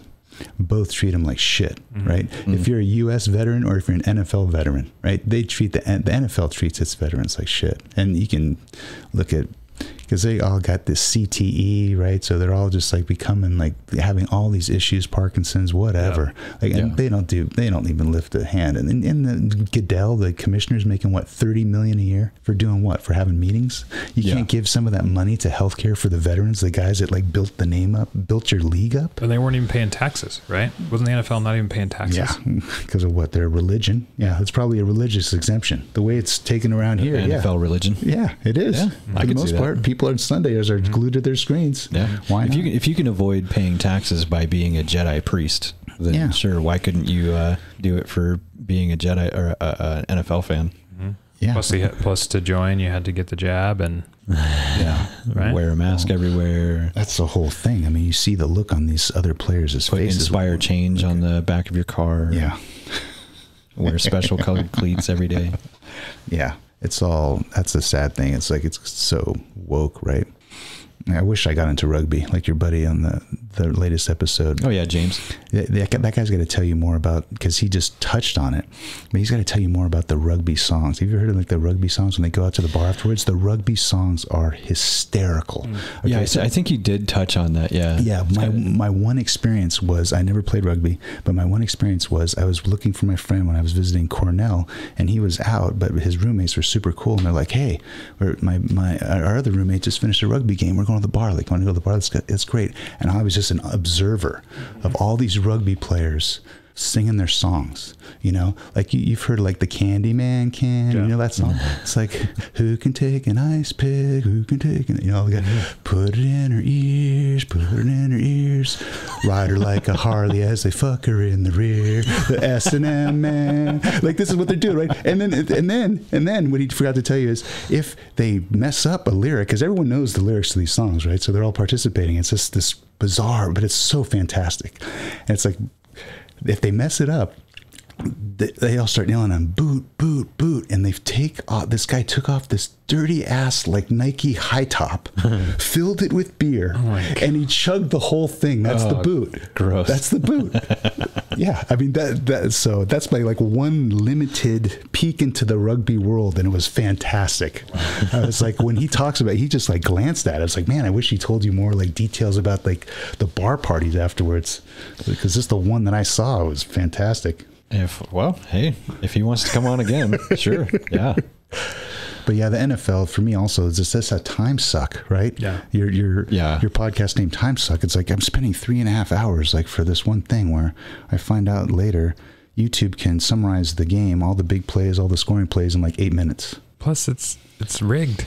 Oh, that's an interesting thought. So you think it's all fixed? It's completely rigged. And I mean, there's Sometimes I of sometimes I feel like that too a little bit. Videos and think all- accounts and everything. You of, think all sports is rigged too? Oh, absolutely. Okay. Yeah. Yeah. Any- Let's any explore that a little Well, bit. and that's the thing. Like, I, I just so I just found out yesterday that Peacock has all of WWF and WCW on it, right? Which we all know is absolutely fake, Mm-hmm. right? With the exception of the fact that those people are athletes. Yeah. Those guys, they train every day. Oh. They're lifting weights. The people themselves, the wrestlers, yes. uh, fantastic, hard people. So you know, I, I don't want to disrespect them. In And it's way. entertainment. People like it. You Right. know? It's but it is all staged and It it is. all. Yeah, but, but I mean, you, you look at what these guys are doing. They're getting slammed on the mat. They're mm-hmm. getting. I mean, sometimes you know what's supposed to be a fake punch, they miss and they really do get hit. These mm-hmm. guys are bleeding. Yeah. So I mean, call it what you will. It's staged fighting, and it is just for entertainment value. But you know, it's fake, but it's not fake. Mm-hmm. So I will give it its due respect and diligence.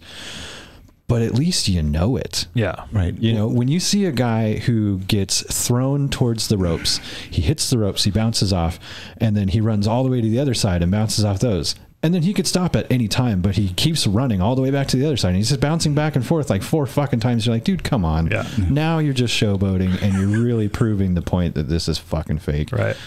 And it's funny as hell, but you know, it's almost like breaking that fourth wall sometimes. But the thing is, can you can you uh, can you go to Vegas and place a, a wager on WWE? I don't, I don't know. Can you? I don't think I don't so. think you can because it, because it's blatantly scripted. The outcome's Yeah. scripted. Like Yeah. I, I, of course, like all these human beings, these bodies, these athletes, these actions, they're totally real. Right. But the outcome's already predetermined.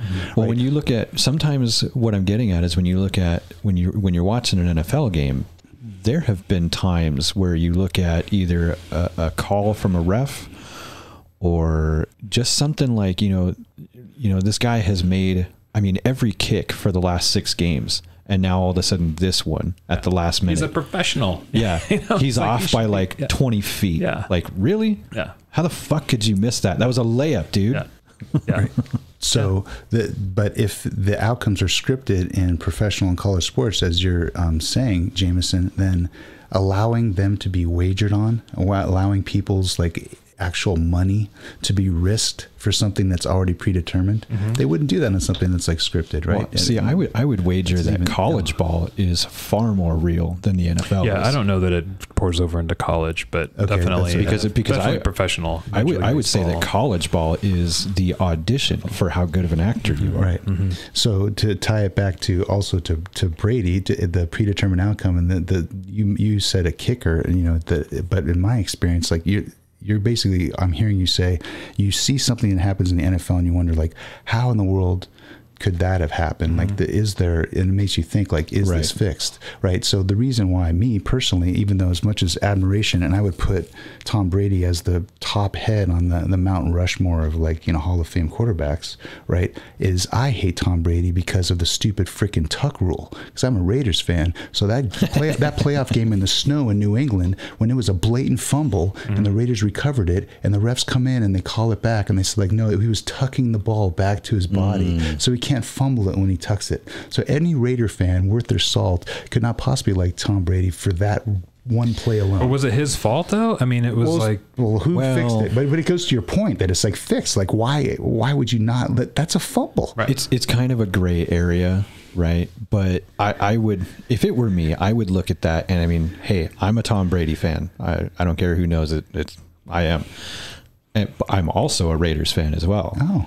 But to look at that, if I, being, uh, you know, completely objective as a ref, if I were to look at that, I would say tucking or not, if you do not have both hands on the ball and it's not at the body, then in that moment, you do not have full control of the ball. Therefore, whatever happens at the time during the tuck, not when it's tucked, if it gets knocked out of your fucking hand, it's a fumble, like it or not, buddy. Just take the hit and move on. Yeah, and that was a Super Bowl. The Raiders. I would've gave it to the Raiders. The Patriots. The Patriots won that Super Bowl. So the Raiders. That's just another. Anyways, why am I? So, why am I even talking about this? I feel like sucking back. it- I'm it- sucked back into the it comes- Matrix, But all it comes back to is Because you feel bad about the Raiders. it's the bread and circus, right? It's Yeah, the play that's that was been my run. circus. It's it's the it's the play that's been run since probably pre-Roman times. It's Hmm. it's the way it's a distraction. It's Mm-hmm. a way to keep the masses entertained and distracted. It's a cell phone.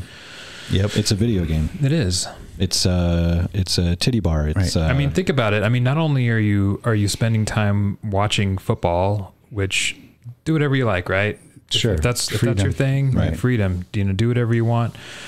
But think about how much time you spend if you're watching football all day on Sunday, Monday nights, Thursdays. You're playing fantasy football. How much time you're spending doing all of that and just talking about it, going to the bar. I mean, what it comes down to, right, is is that you're you're controlled, right? You you you're not going to be a cog in the machine, or, or Right. you're not going you're not going to be. I don't want to see. You're gonna not gonna be a a, cog in the virus. You're not. You're going to be a cog in the machine. You're not going to be like a virus in the matrix, right? you're not going to be the monkey wrench fucking shit up. Right. Yeah.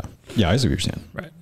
Yeah, instead of uh, you know reading a book or Exactly. learning how to do something new and improving yourself. Be self-sufficient, right? Right. You Instead know. of tending your garden, you're Right. Mm-hmm. going to be sitting in a bar drinking poison with your buddies and worrying about, you know, who's and getting all excited and using all of your your frustration and energy, you know, energy on yelling at a TV for a football game. Right. when you should Yeah. be yelling at these people that are robbing you blind every well, day. And, and what's funny to me and what I think about often actually when I'm watching football, and, and I don't know why this thought comes into my head, but it, it does all the time. So, you, you know, you talk about the Romans.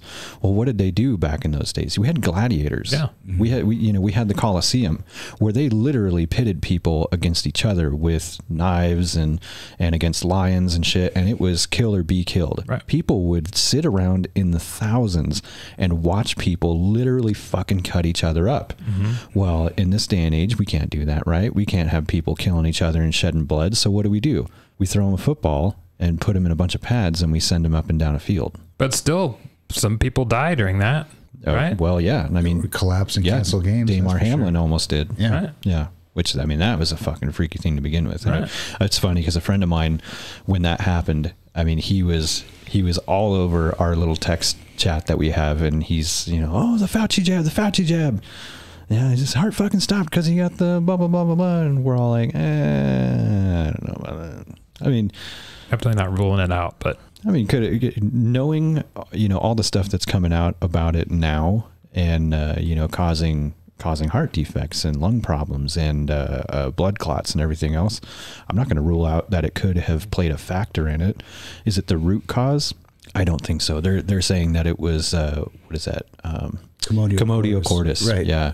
And and when you when you take a shot to the chest at the exact moment where what is it the the electrical pulse to reset the sinus wave or whatever in the heart is firing and you literally have like it's what two three milliseconds window Right, and and and for Commotio cordis, the demographic is usually much younger. It's like a teenager. Right. It's like the incidences of it happening in football are like I don't know. You can probably count on one hand. which is which is odd to me because when you look at a lot of the hits that guys have taken over the years in football, I mean it's But often it's they're not amazing. directly to the sternum, right? Because they have like the shoulder pads that come down and protect the sternum. That's so there's true. One, there's one actual additional barrier, right? Right. And thirdly, in Commotio cordis, it's a dysrhythmia, right? That's initiated by blunt force, and that once the dysrhythmia is restored to a normal sinus rhythm, which is like one AED shock, boom, mm-hmm. back in rhythm. Right. you're restored, you're normal. This guy had to be resuscitated twice. Yeah, exactly. Yeah. That, that's not normal for that. yeah So, the, but the th- but the, the more important thing is, and you're setting your friend aside, is the fact that most people don't even want the question asked. Mm. Like you know, let's say I just asked the question, like, "Oh, that's unusual. I've been watching football like my whole life. I've never seen a game stopped or canceled. I've never seen a, a someone that do CPR. Like, is there a chance?" That you know he had to get vaccinated to play on the team. How dare you ask mm-hmm. that question? Mm-hmm. Where are Yeah, you going, right. you conspiracy theorist? How dare you ask that question? It's like, well, you just asked me that question to go get a burger at McDonald's. Right. Exactly. Yeah. Like oh, it, that, that's the only time it's important is to is to ask it if I want fast food, but I can't ask it when a guy collapses on the field, has to be resuscitated and brought to a hospital, and a game canceled. I can't ask it then. yeah i'd like to get a big mac and fries well do you have your vaccine Yeah, exactly. how dare you ask me yeah, that exactly. Have Well, you you can get latest one right here. We've got a, we've got a little booth for you. Yeah. Get that taken care of. Booth and at we'll get McDonald's. served right up. Yeah, we'll give you a free Big Mac if you get the jab. Yeah. So it's just, but to, it's like if you ask a question, like you know, it's like oh, you're a conspiracy theorist au- au- automatically. What? I can't ask questions anymore. I just have to accept it. Yeah. Right. This is the whole. This is the other piece of it too. Do what we say or else. Is the whole censorship thing. Is it is the fact that you can't ask questions and and you're censored. Everything is censored for our benefit. And If it's not for our benefit, I don't, I don't, as a free human being, I don't have the ability to make my own decision, to be able to look at all the facts on both sides and be able to make a decision. No, Right. it has to be, it has to, we- we're doing this for your protection. We had to put these disclaimers on there and everything. And yeah, well, because more and more the proverbial they they don't want us to think for ourselves Right. and think freely and make decisions on our own. Well, the best slave is the one that is like deluded themselves into thinking they're free. Mm, Yeah. yeah. right. You're gonna work harder now. Yeah. right? you're really free. You, you saw that uh, um, documentary, I presume, like the Monopoly, Who Owns the World. So you go to you go to. Mm, I you- didn't see that one. You get, uh, you might like it. So you go to the uh, you go to the gas station. You're like filling up with gas. You go in to get a drink. You're like, oh, Coke versus Pepsi. Here we go. First, first rivalry, Coke versus Pepsi. I'm a Coke guy. I've always been a Coke guy, right? Get the Coke guy. Come to find out, right? Who owns Coke? Same people that own Pepsi, Vanguard and BlackRock. they, real? Own, they own the they own the freaking world Like, Yeah. for real. So- so the Koch brothers own Pepsi too? This whole thing that you think is like us, and, and you don't think that represents politics? right, right. Oh yeah, Democrat, Republican. Oh yeah, they're so different, Mm-hmm. right? That's why some people have already started calling them uniparty, right? How, Mm. how, how exactly different are they? They both want to send our money to Ukraine, getting back to that subject, right? Because they're both getting it back nice and clean. right. So it's like there's Yeah. a, you think there's a difference, right? So it's it's just part of the bread and circuses. It's just not ath- athletes. The reason why I like NFL, the reason why I like Major League Baseball, or would watch any of these things, NHL, is because what I'm actually watching is kind of like an amazing thing what another human being can do. Like jump like freaking so high, Oh, like oh, catch yeah. a ball, or Yeah, like you know run so fast, like you Right. know. So so I'm en- enthralled by like the the physical ability of fellow human beings. Like that's a Yeah, fellow human right. being. I can't do that, but look, I can watch that. But yeah, absolutely, it's a total circus. Yeah, watching uh, DK Metcalf or Tyler Lockett just jump, you know, like six feet in the air or more, and just reach out and makes you know an amazing catch. You're like, fuck! I wish I could do that. That is Mm-hmm. amazing. Yeah, and it's just that alone is kind of worth it. But The, I the sportsmanship ap- aspect of it and the athleticism. I mean, Yeah. really, I mean, that's that's mostly what I care about, to be honest. with you. I And the dedication, the discipline, everything that Yeah. goes into being an athlete Right. of that caliber, right? yeah. So that so that is one way to look at it is to watch you know these these uh, you know to watch these men who do have that discipline to to eat right every day and to work out every day and to keep themselves so in tuned and mm-hmm. take care of themselves to be able to do what they do. And you know on top of the entertainment value of watching these gladiators go out and smash each other up and score i mean mm-hmm. I mean, there's so many things about it to love. But you think about it too, is and this is part of the part of the problem is is that they invest so much time and energy and and discipline and everything into it for years and years and years, right? And then you get to that level, and it's like we might ask you to drop the ball one time, or we mm. might ask you to you know yeah, miss that tackle, we might ask you to throw a fight in the third round. right, you know, right, exactly. well, that was a, that was And a- if you don't, there's the door. Yeah, We'll get somebody else here in two seconds that'll take your spot. yeah, Well, that was a major watershed moment for me because I deluded myself into thinking, like, okay, when it comes to the government, even these judges, these people in black robes who I've long believed are going to be impartial, are going to interpret the law as the law and make a ruling based on like what they consider justice being their foundational, you know, moral principle. Like, that's not happening. But if I go to the sports world, right? I can at least think these guys in the black and white stripes are doing that, right? They're doing to their best of their ability, like following the rules of the game, making these judgment and determinations based on what is fair and just according to the, the rules of the sport. Mm-hmm. Well, when that guy, I think his name's like Tim Donahue or something, I can't remember, the basketball referee who got basically busted, like sent to jail, I think, for like basically point shaving, equivalent of like a referee. I'm like, that's it. Like mm-hmm. now everything's fixed. Yeah. Mm-hmm. Like there's nobody that's objective. There's no objectivity in the world. Right. And it's like once objectivity's gone, then you're going back to what we talked about before we started, which is like this whole world is a subjective individual experience of consciousness, right? So no one Right. there's no like uniform gold standard center like point zero, right? Yeah, and, and I mean everything really is open to suggestion and interpretation because it is all how everything is perceived. But you, you look at uh, you know you look at judges overturning Roe v. Wade, or any other law that has been overturned, right? So to say that, well, this law is in the books and this is how it is, well, that could be changed, right? And it's dependent on any other judge's interpretation of the law and what they feel it should be. Because the number one thing that I always say that anything comes down to that is, I mean, it's, yeah, you could say it's kind of a fundamental problem is that everything that we do depends on how we feel about it. Often, even though we try to be objective, so often do we fail. And things are determined by how whoever is making the judgment at that time feels about something. When that may you know their their judgment may not necessarily coincide with what actually is best for the people. Mm-hmm. and that goes all the way up the ladder. That goes not only from our system of justice but all the way up through our government. Right. Best for what people? like right. The, you've the got population or like you, the select few that are in the club? Right. In, in my point of view you've got greed which is the number one problem. Mm-hmm. And, and unfortunately it's rampant because I've talked about this before. It goes back to our, you know, need for survival because greed is part of that. Why do we want more than we need? Because we're always looking for that way that we can survive and not have to worry about survival. We want to be comfortable. We constantly seek comfort so that we don't have to worry about going out with a spear and, you know, hunting for our dinner every day. Right. We're we're constantly trying to fight against our nature, which is which is that. So greed is in every single one of us, and there's there's some people that are better at handling it than others are. Uh, obviously, right? It's this whole ingrained thing where I mean we we are definitely not living as our ancestors did in the fact that you you were part of a tribe, right? And right. you grew up as a child and you learned how to do the things that you do when you're an adult and when you become an elder, you're taken care of, right? You're respected, you're taken care of, and there's no worry about am I going to have enough money in my retirement? It's like my tribe is going to take care of me. And just knowing that, I mean, I think people think of like things like Social Security and stuff like that. That's what that was intended to do, but but but really, there's not that connection and having that that that transition into elderhood and having the rest of your tribe taking care of you. Now, where where I I feel like if we're going to leverage technology and we have a, a perfect opportunity right now to where if we have this technology and we leverage it in the right way, we don't need government.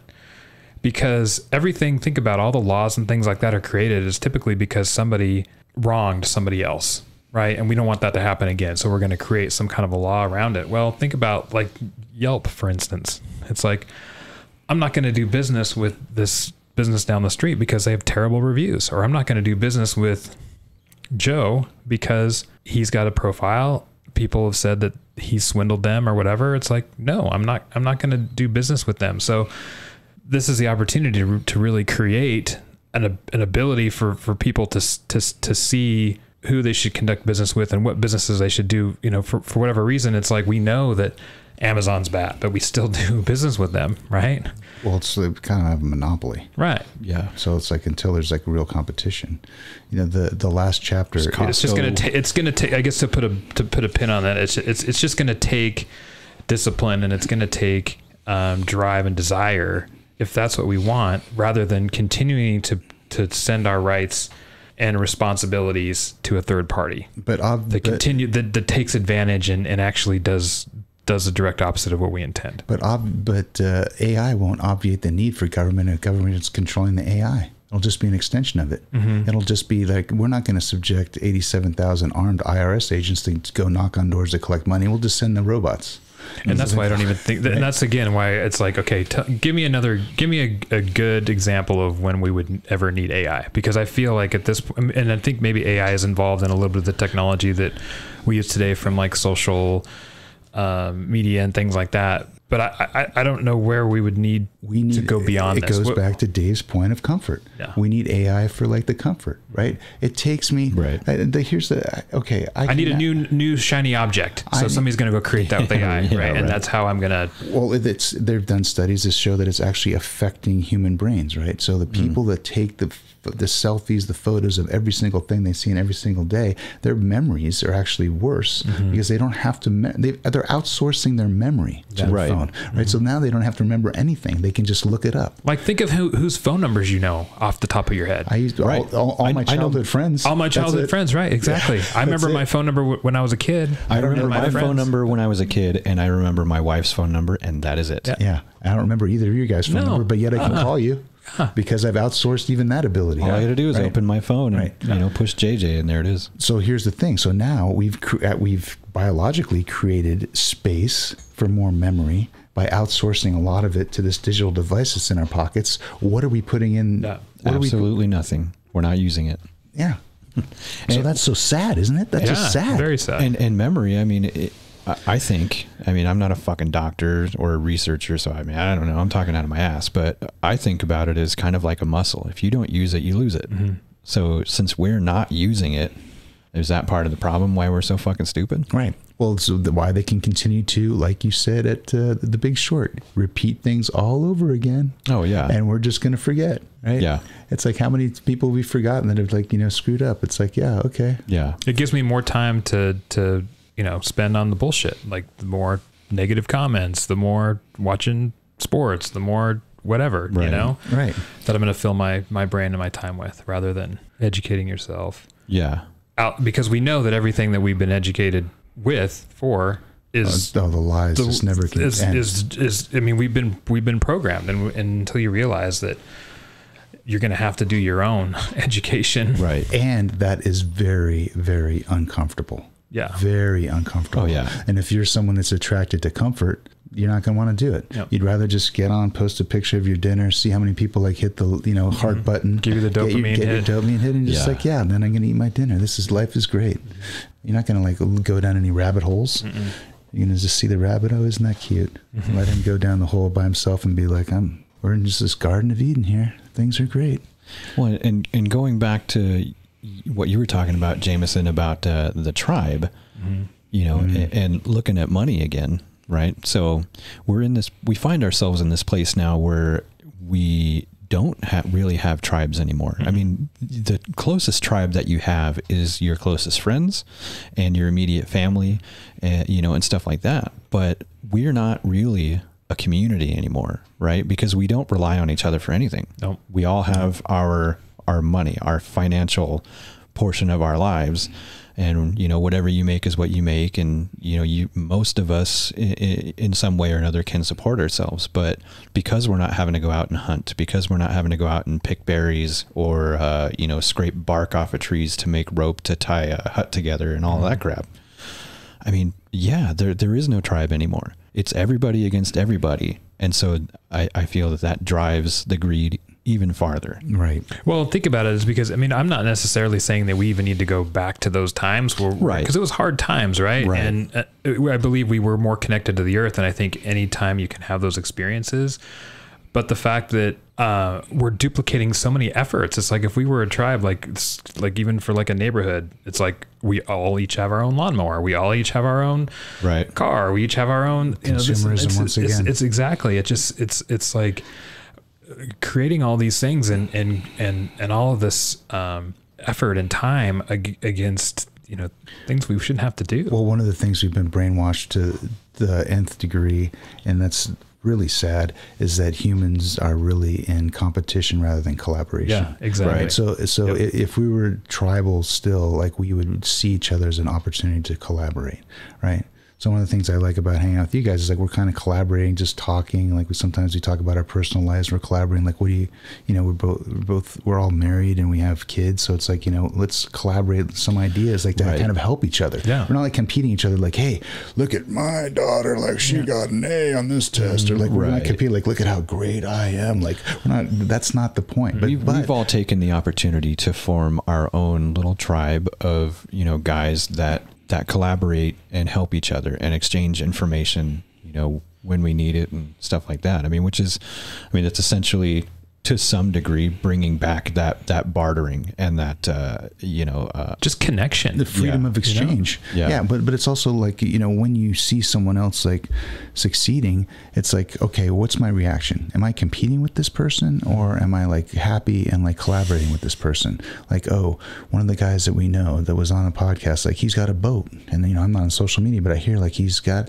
all these pa- parties on his boat, and you know all this stuff, and so like what what's my initial reaction? Like oh, I'm jealous or I'm envious, I'm in competition with them. Like what? I got to get a boat. It's like hold on a second, you hate boats, mm-hmm. like you're not a boat person. Like what, what, what? All of a sudden you're in competition with like this this, this ghost, this like imaginary straw man, Right. Right. So it's like if mm, straw and, man. and, and so and so that's why I think for me personally, especially when you after you've been married for a while. And and my wife doesn't always understand this. When we do something that's collaborating, like husband and wife have this goal, whatever, something simple, like, you know what, the house is disorganized. We need to like organize this section of the house. And we get to it. After the time period's up, I feel like the one of the highest expressions of love without Mm-hmm. even exchanging any words. Like we human beings were meant for collaboration, Right. Right. but we've been programmed to think that we're in competition. Yep. That those of us who have the most toys is going to win. Well, I got news for you. You ain't bringing the toys wherever Mm-hmm. You're going once you die. right yeah How many times have we heard that? Yep. yeah you don't get to take it with you when you die Yeah, unfortunately exactly. You can't. Right. And we've been put in this position too. Um, t- t- t- going back to the tribe thing is, is is that in order to to keep up and you know pay our taxes and and meet our demands and everything that's required of us based on the situation that we're in, it's like we're we have to put our kids in daycare. We have mm. to put our elders in homes. You know, to where we we are even more separated because of this thing that we're chasing. It's like everything that we need is here and it's like why do we have to keep striving right for for more if it just at the end of the day takes us away from our our, our ideals of, of having that connection in that family and community and because both what you said is like to Dave's point, comfort and comfort we're now discovering through this conversation is higher in priority to most humans than connection. Mm-hmm. We'd rather be comfortable. We'd rather be able to go about our own day than to have to change either our baby's or our grandmother's diaper, mm-hmm. right? Because that inconveniences us because we would rather be comfortable. We'd rather be in that little portable chair, right? And mm-hmm. happy, you know, beast playing digital golf, floating around the Wall-E world than we would actually like, you know, walking like nine holes uphill, like 600 pounds running around on Right. our little floating chair laid back just That's the ex- staring at a screen That's the extreme comfort, right? Yeah. They seem comfortable. That they don't have, they don't have to chew, right? They just had shakes. Oh yeah, that that that whole Yeah, right. part of that movie was so profound to me when that first came out. The fact that these people are all just big fat slobs laying in these chairs, they don't even look at each other. Mm-hmm. Like they they just have basically an iPad hung over their head. And so when they want to talk, they don't even turn their head. They're right next to each other. They're six inches away, but instead they're staring at each other through a screen. Mm-hmm. And, and I mean, how real is that today? That's insane. it wasn't it the the that they had to leave earth because they're all in these spaceships now right Yeah. that over the earth and because the earth has just is this- full of garbage Yeah, right it's full of garbage. That's what Wall-E is, a and we destroyed factory. all the natural resources and everything else, and so uh, all the spaceships are owned by Buy n Large, which is essentially Costco and Walmart. Mm-hmm. At some point, those two will probably merge and become, you know, Costmart and right I, know for the they'll most build the spaceships with SpaceX. And I know. For, I know for the most part, it's it's uh, it's maybe got an environmental slant, and it's probably going down the path of climate change. But for the purposes of this discussion, it's really about, for me, it's a comfort. Like that that world that they created is all about like these human beings being comfort to the Yeah. point where they're they're they're minimizing the effect of like physical, you know, exertion. Like they don't even exert them. They don't even stand up. Like it's, it's like a big deal. Like they're they haven't stood up in generations and gotten out of the chairs. Yeah. Right. and that's the thing is, is uh, I always talk to my wife about this too. Is is like I, if people would would just take five seconds, and and I'm and I'm guilty of it too. But just think about the the way that you feel about a certain uh, issue, or do I really need this comfort before making that purchase or whatever? It's like I I, I mean I just think off the top of my head. I, I mean I, I love my bed, I love a hot shower, uh, but other than that, I mean if you had things that were local, you know, you could get by on a bike, you, you know, walking, whatever. I mean, there's a lot of things that, that we don't necessarily uh, need to have. But but again, I feel like it's this push for AI, this constant of of trying to create something new, something shiny. It, it just kind of pulls us out of this shit that we're in that we've created of that I've got to work 40 hours a week. I got to pay my taxes. I got to pay my bills instead of like really ingraining ourselves and enjoying this realm that, that was created. Enjoying the ride, that Bill Yeah, Hicks said. Right. You're, not, you're not enjoying the ride. Mm-mm. You know, it's just a ride. Yeah. Go out and enjoy it. What's going to happen to you? Right. You, you're all, the ride ends at the same spot for everyone. You Right. don't know where, it, when, or where it ends. And but- this is what I need to remind myself too is when I go into work, is just like there is no excuse why I should ever be stressed out. It's like if this job is going to stress me out and make me not feel good, then what the hell am I doing? yeah, you're, you're harming. You're, You know, that's yeah. that's self harm. yeah, right? it is completely self harm. because because the, the the employers don't care, right? Because as soon as you like die of a stroke, they'll be like next. Yeah, And they just fill exactly. your, they'll fill your chair the next day. Right. Maybe they'll have a moment of silence or a cake or some or some Zoom call to talk about you. Dude. But it's but it's like you're just basically a flesh version of AI right now. that hits home for me so so much. I mean, it, it, I'm working on my wife a little bit, and and she's she's in agreement. It's like let's just let's let's go what like the hell? It's an adventure, man. well let's uh you know we first said maybe buy but Mm-hmm. like let's or maybe we can just go work at like some you know uh small beach town that has like a bar restaurant hotel cool. whatever you know Yeah. and just like Yeah, Why not? just just say fuck it and fuck it Yeah. you know Get half price pina coladas. Who Yeah. gives a shit for like cleaning some guy's surfboard? exactly You'll stack your surfboard, half price pina what else do I on that. need other than that man you know You're, you're grounding all the time. You're barefoot Yeah. on the beach, connecting to the earth, getting plenty of vitamin D through the sun. Some of some of the happiest food, people that you ever food. meet are people that have just put away all of that stuff. Yeah. And and they're only working for what they need, not for what they want. Mhm. And they don't want for much. yeah Yeah. Well, I was just talking about this with the therapist uh, yesterday, and uh, he was saying, and these studies have proven that you can you reach a certain amount of annual income, and then it's like diminishing returns. Yeah. Yeah. Right. Because if greed then starts taking over, and you seem to go, in, that your happiness level or life fulfillment satisfaction level does not change, or it goes down. Right. Because now you're so obsessed with like you know keeping up with the Joneses that that's your full time preoccupation that you're not even like you know smelling the roses, going outside, enjoying Yeah. anything outside of life other than like winning. You feel like you have Right. to win, right? Yeah, and the only the only thing I would say to that is to have a good work ethic. So anything that you are going to do, whether you like it or you don't like it, if you're in it, put in your 110% as long as you're there. So let me ask you, where does good work ethic come from? Because what's happened to the generations behind us, and where? Because I've heard stories you would know better than me, like that the work ethic's not there. Well, I mean, being somebody who hires people, yeah, the work ethic I don't feel is there. I, I tend to I tend to try and hire um, veterans because I mean a lot of them, you know, just just going through boot camp and being in the service alone.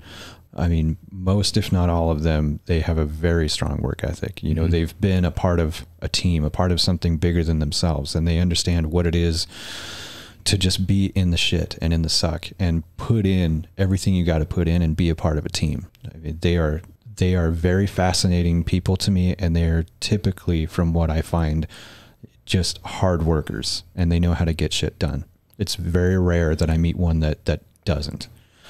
You know, but I mean, a lot of a lot of younger folks in their 20s, shit, in their early 30s anymore that that I come across they their work histories are garbage. You know, they've they've been through so many different jobs. Um, you look at their at their work record, and it's you know two months here, six months there, which which I mean that's not necessarily a bad thing. It, it depends on the person. So I mean, if if you're the kind of person who likes to move around a lot, and it's okay to not know what you want to do. It, it really is. You know, and, and I tell my kid this too. You're young. You have plenty of time right now to just float around and try different things. If you don't already know what you want to do with the rest of your life and you're not you're not going to go to college and make a career out of it, then yeah, by all means do that.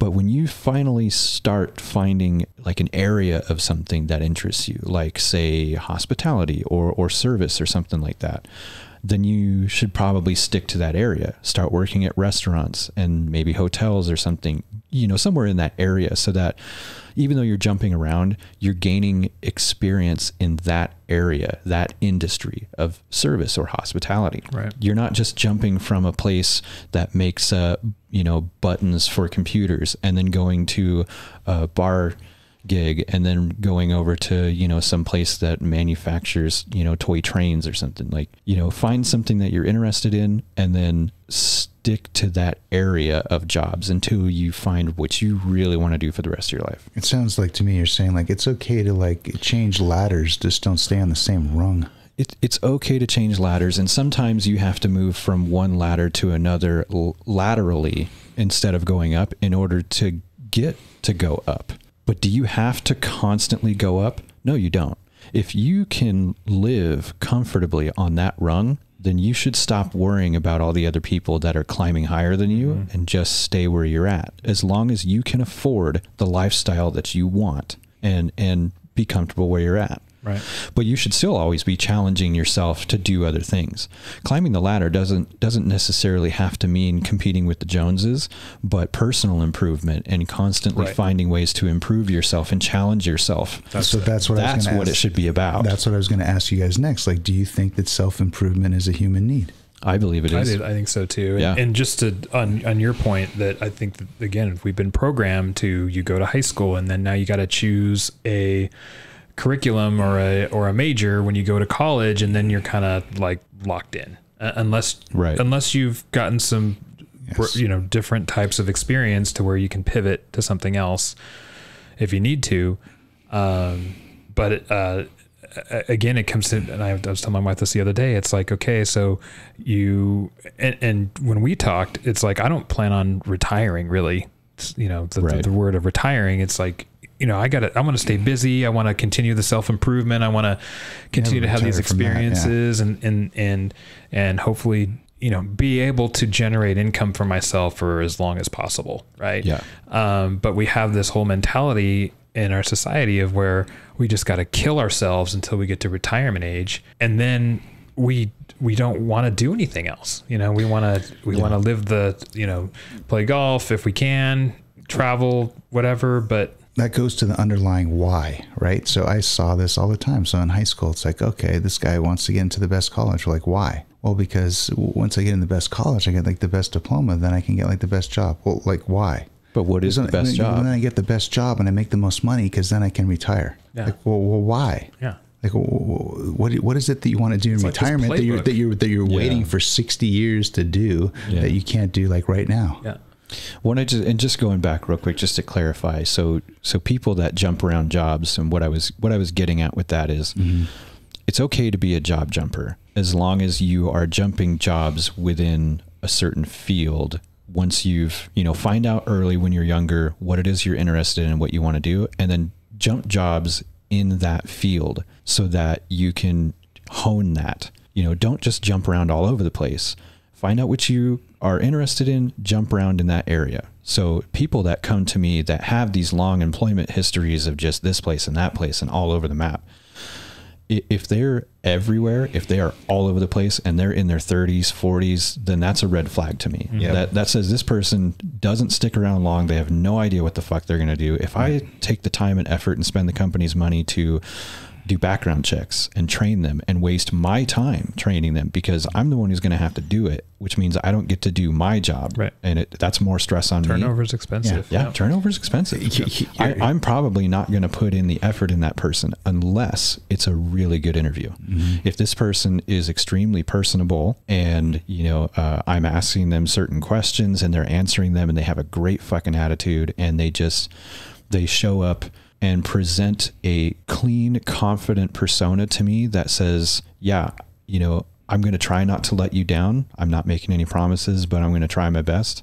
Then, okay, I might give them a shot. But somebody who comes to me that has, you know, a, a speckled employment history within the area of kind of what I'm looking for, that's what I'm going to look at more. I'm going to, I'm going to say, okay, yeah. And, and especially with a good interview, that's when I'm going to call references and I'm going to say, okay, well, I can see this person's been around a lot and they haven't been in one job for a long period of time, but tell me about this person. You know, what, how did they work for you? And if I get, you know, a whole bunch of people that are like, oh yeah, he didn't stick around long, but when he was here, he busted his ass. He did everything we asked of him and blah, blah, blah. And, you know, he just, uh, he's just seems like he's trying to find his place. I'm probably going to give that person a shot and I'm going to be more apt to not necessarily cater to them, but to try and focus on what their abilities are. I'm going to look at how they fit in my team. And I'm I'm not going to try and just pigeonhole them into this one position that I need. I might hire them for that position because I need to fill it. But I'm going to talk to this person I'm going to find out what it is they like to do and what it is I could possibly move them around in our company to do later that will keep them employed and keep them with us and not only make them more valuable to themselves but to this company and and retain them. And that that's what I look for. And I think is of being as transparent as possible too as, a, as an employer because you know you're taking a chance on this person, Right. And just being aware of the things that might turn them off or that Right. might be a problem for them. Like I feel like with with my most recent job, I didn't quite know what I was getting into, and so there's a little bit of a sore spot for me as Mm-hmm. Yeah. far as like you guys weren't totally transparent on exactly how this would work right. and and so I think that's a lot of the reason why we do see a lot of turnover now too, because because businesses are are are are clawing to get talent, and they're doing whatever they can just to bring them on board. Mm, Maybe I won't mention that aspect of the job, Yeah. until they come on board. See, that's where I'm totally different. I don't I don't agree with that and I I don't I always hated when that happened to me and I don't like doing it to other people. Yeah. So anymore these days, I'm almost literally trying to talk people out of this job.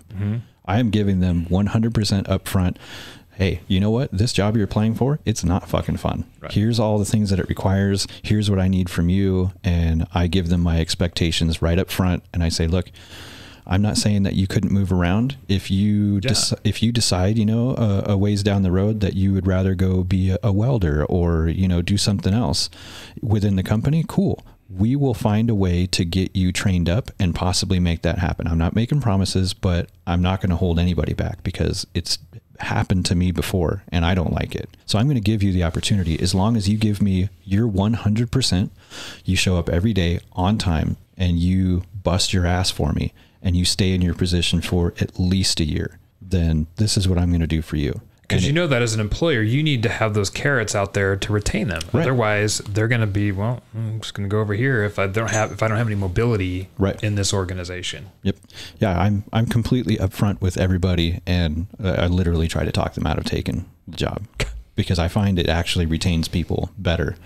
You know, because the people who upfront, if I'm like, yeah, it's a tough job. It you're you know especially with the uh, the outdoor jobs like you're rain snow or shine it could be 30 below you're outside doing this work and it's not easy so do you want the job or don't you Right. and and most of the time anymore now that I started doing that, they're like, yeah, you know, this really isn't for me. And I'm like, okay, I can respect that. Thanks for not wasting my time and yours. Yep. You know, and and I've had a, I think I had a guy once who came, did an interview with me, and then he interviewed with uh, somebody else who they're not necessarily a competitor, but um, I think he told them that he had applied for us and they called and asked what we thought of him, you know, and I was like, look, this guy was honest with me. Like he seems like a good dude.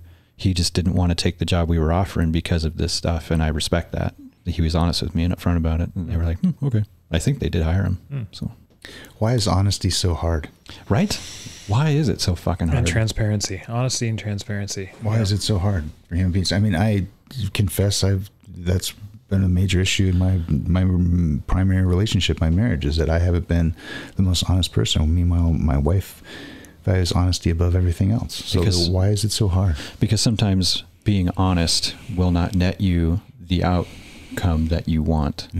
You're worried about the repercussions, Yep. maybe there's shame, hmm guilt around certain things that, that you've done that Honesty Yeah. requires uh, no dependence on outcome. That's why it's difficult. Yeah. And it seems like there's going to be some accountability involved. Mm-hmm. Yeah, it's hard for people to reflect and look at themselves and say, "Man, I fucked up."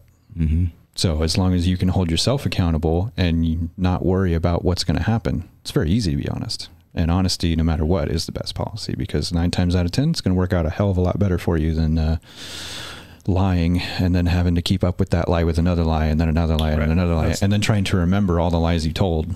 Yeah. And having I guilt think I and saw shame a over Three's. Company episode about this. I gotta use it. Yeah.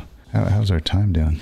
Yeah, we're we're about out of time, but uh, well, I know you guys got stuff to do. Uh, So real quick, uh, recap three great movies that everybody, I in my opinion, should watch would be They Live and Wall-E and uh, uh, uh, what what was the other one that we were talking about? Idiocracy? Idiocracy for sure. Yeah, if you haven't seen that. Uh, any good books you guys want to mention that people should read? Democracy, the God That Failed by Hans Hermann Hoppe. If you can't read the whole thing, it's not long, about less than 300 pages, but it's very dense political philosophy. You can just read the last chapter, chapter 13. Chapter thirteen. What about you, Jamie? Uh, I mean, one of the books that got me started on this whole thing was A Creature from Jekyll Island. Oh, yeah. G. So- Edward Griffin. hmm Just Yeah, about how the Federal Fed came to be and and uh, what what the mess that it's created. Uh, how the monster came. Mm-hmm. Mm. hmm Or End the Fed by Ron Paul. Yes. All right, guys. Well, Thanks, man. we'll uh, Yeah. we'll wrap this up and let you guys get out of here and back to your grinds and lives. All right. Thanks for having me. Yeah, Yeah. thanks for coming over, guys. This is a lot of fun. Yeah, Yeah. it's Yeah. fun. Yeah, this uh, multi-person podcasting stuff. I could get used to this. You got a new thing. yeah, So yeah, we'll definitely have to do it a lot more often. Sounds good. All right, dude. Awesome. Thanks again, guys. Uh, thanks everybody for listening. Uh, don't forget to uh, hit me up if you have anything you want to contribute with on uh, our email address, which is gigpodshow at gmail.com. You can also find us on Facebook, Guys in a Garage Podcast. Thanks again, everybody, and keep on grinding. Have a good one.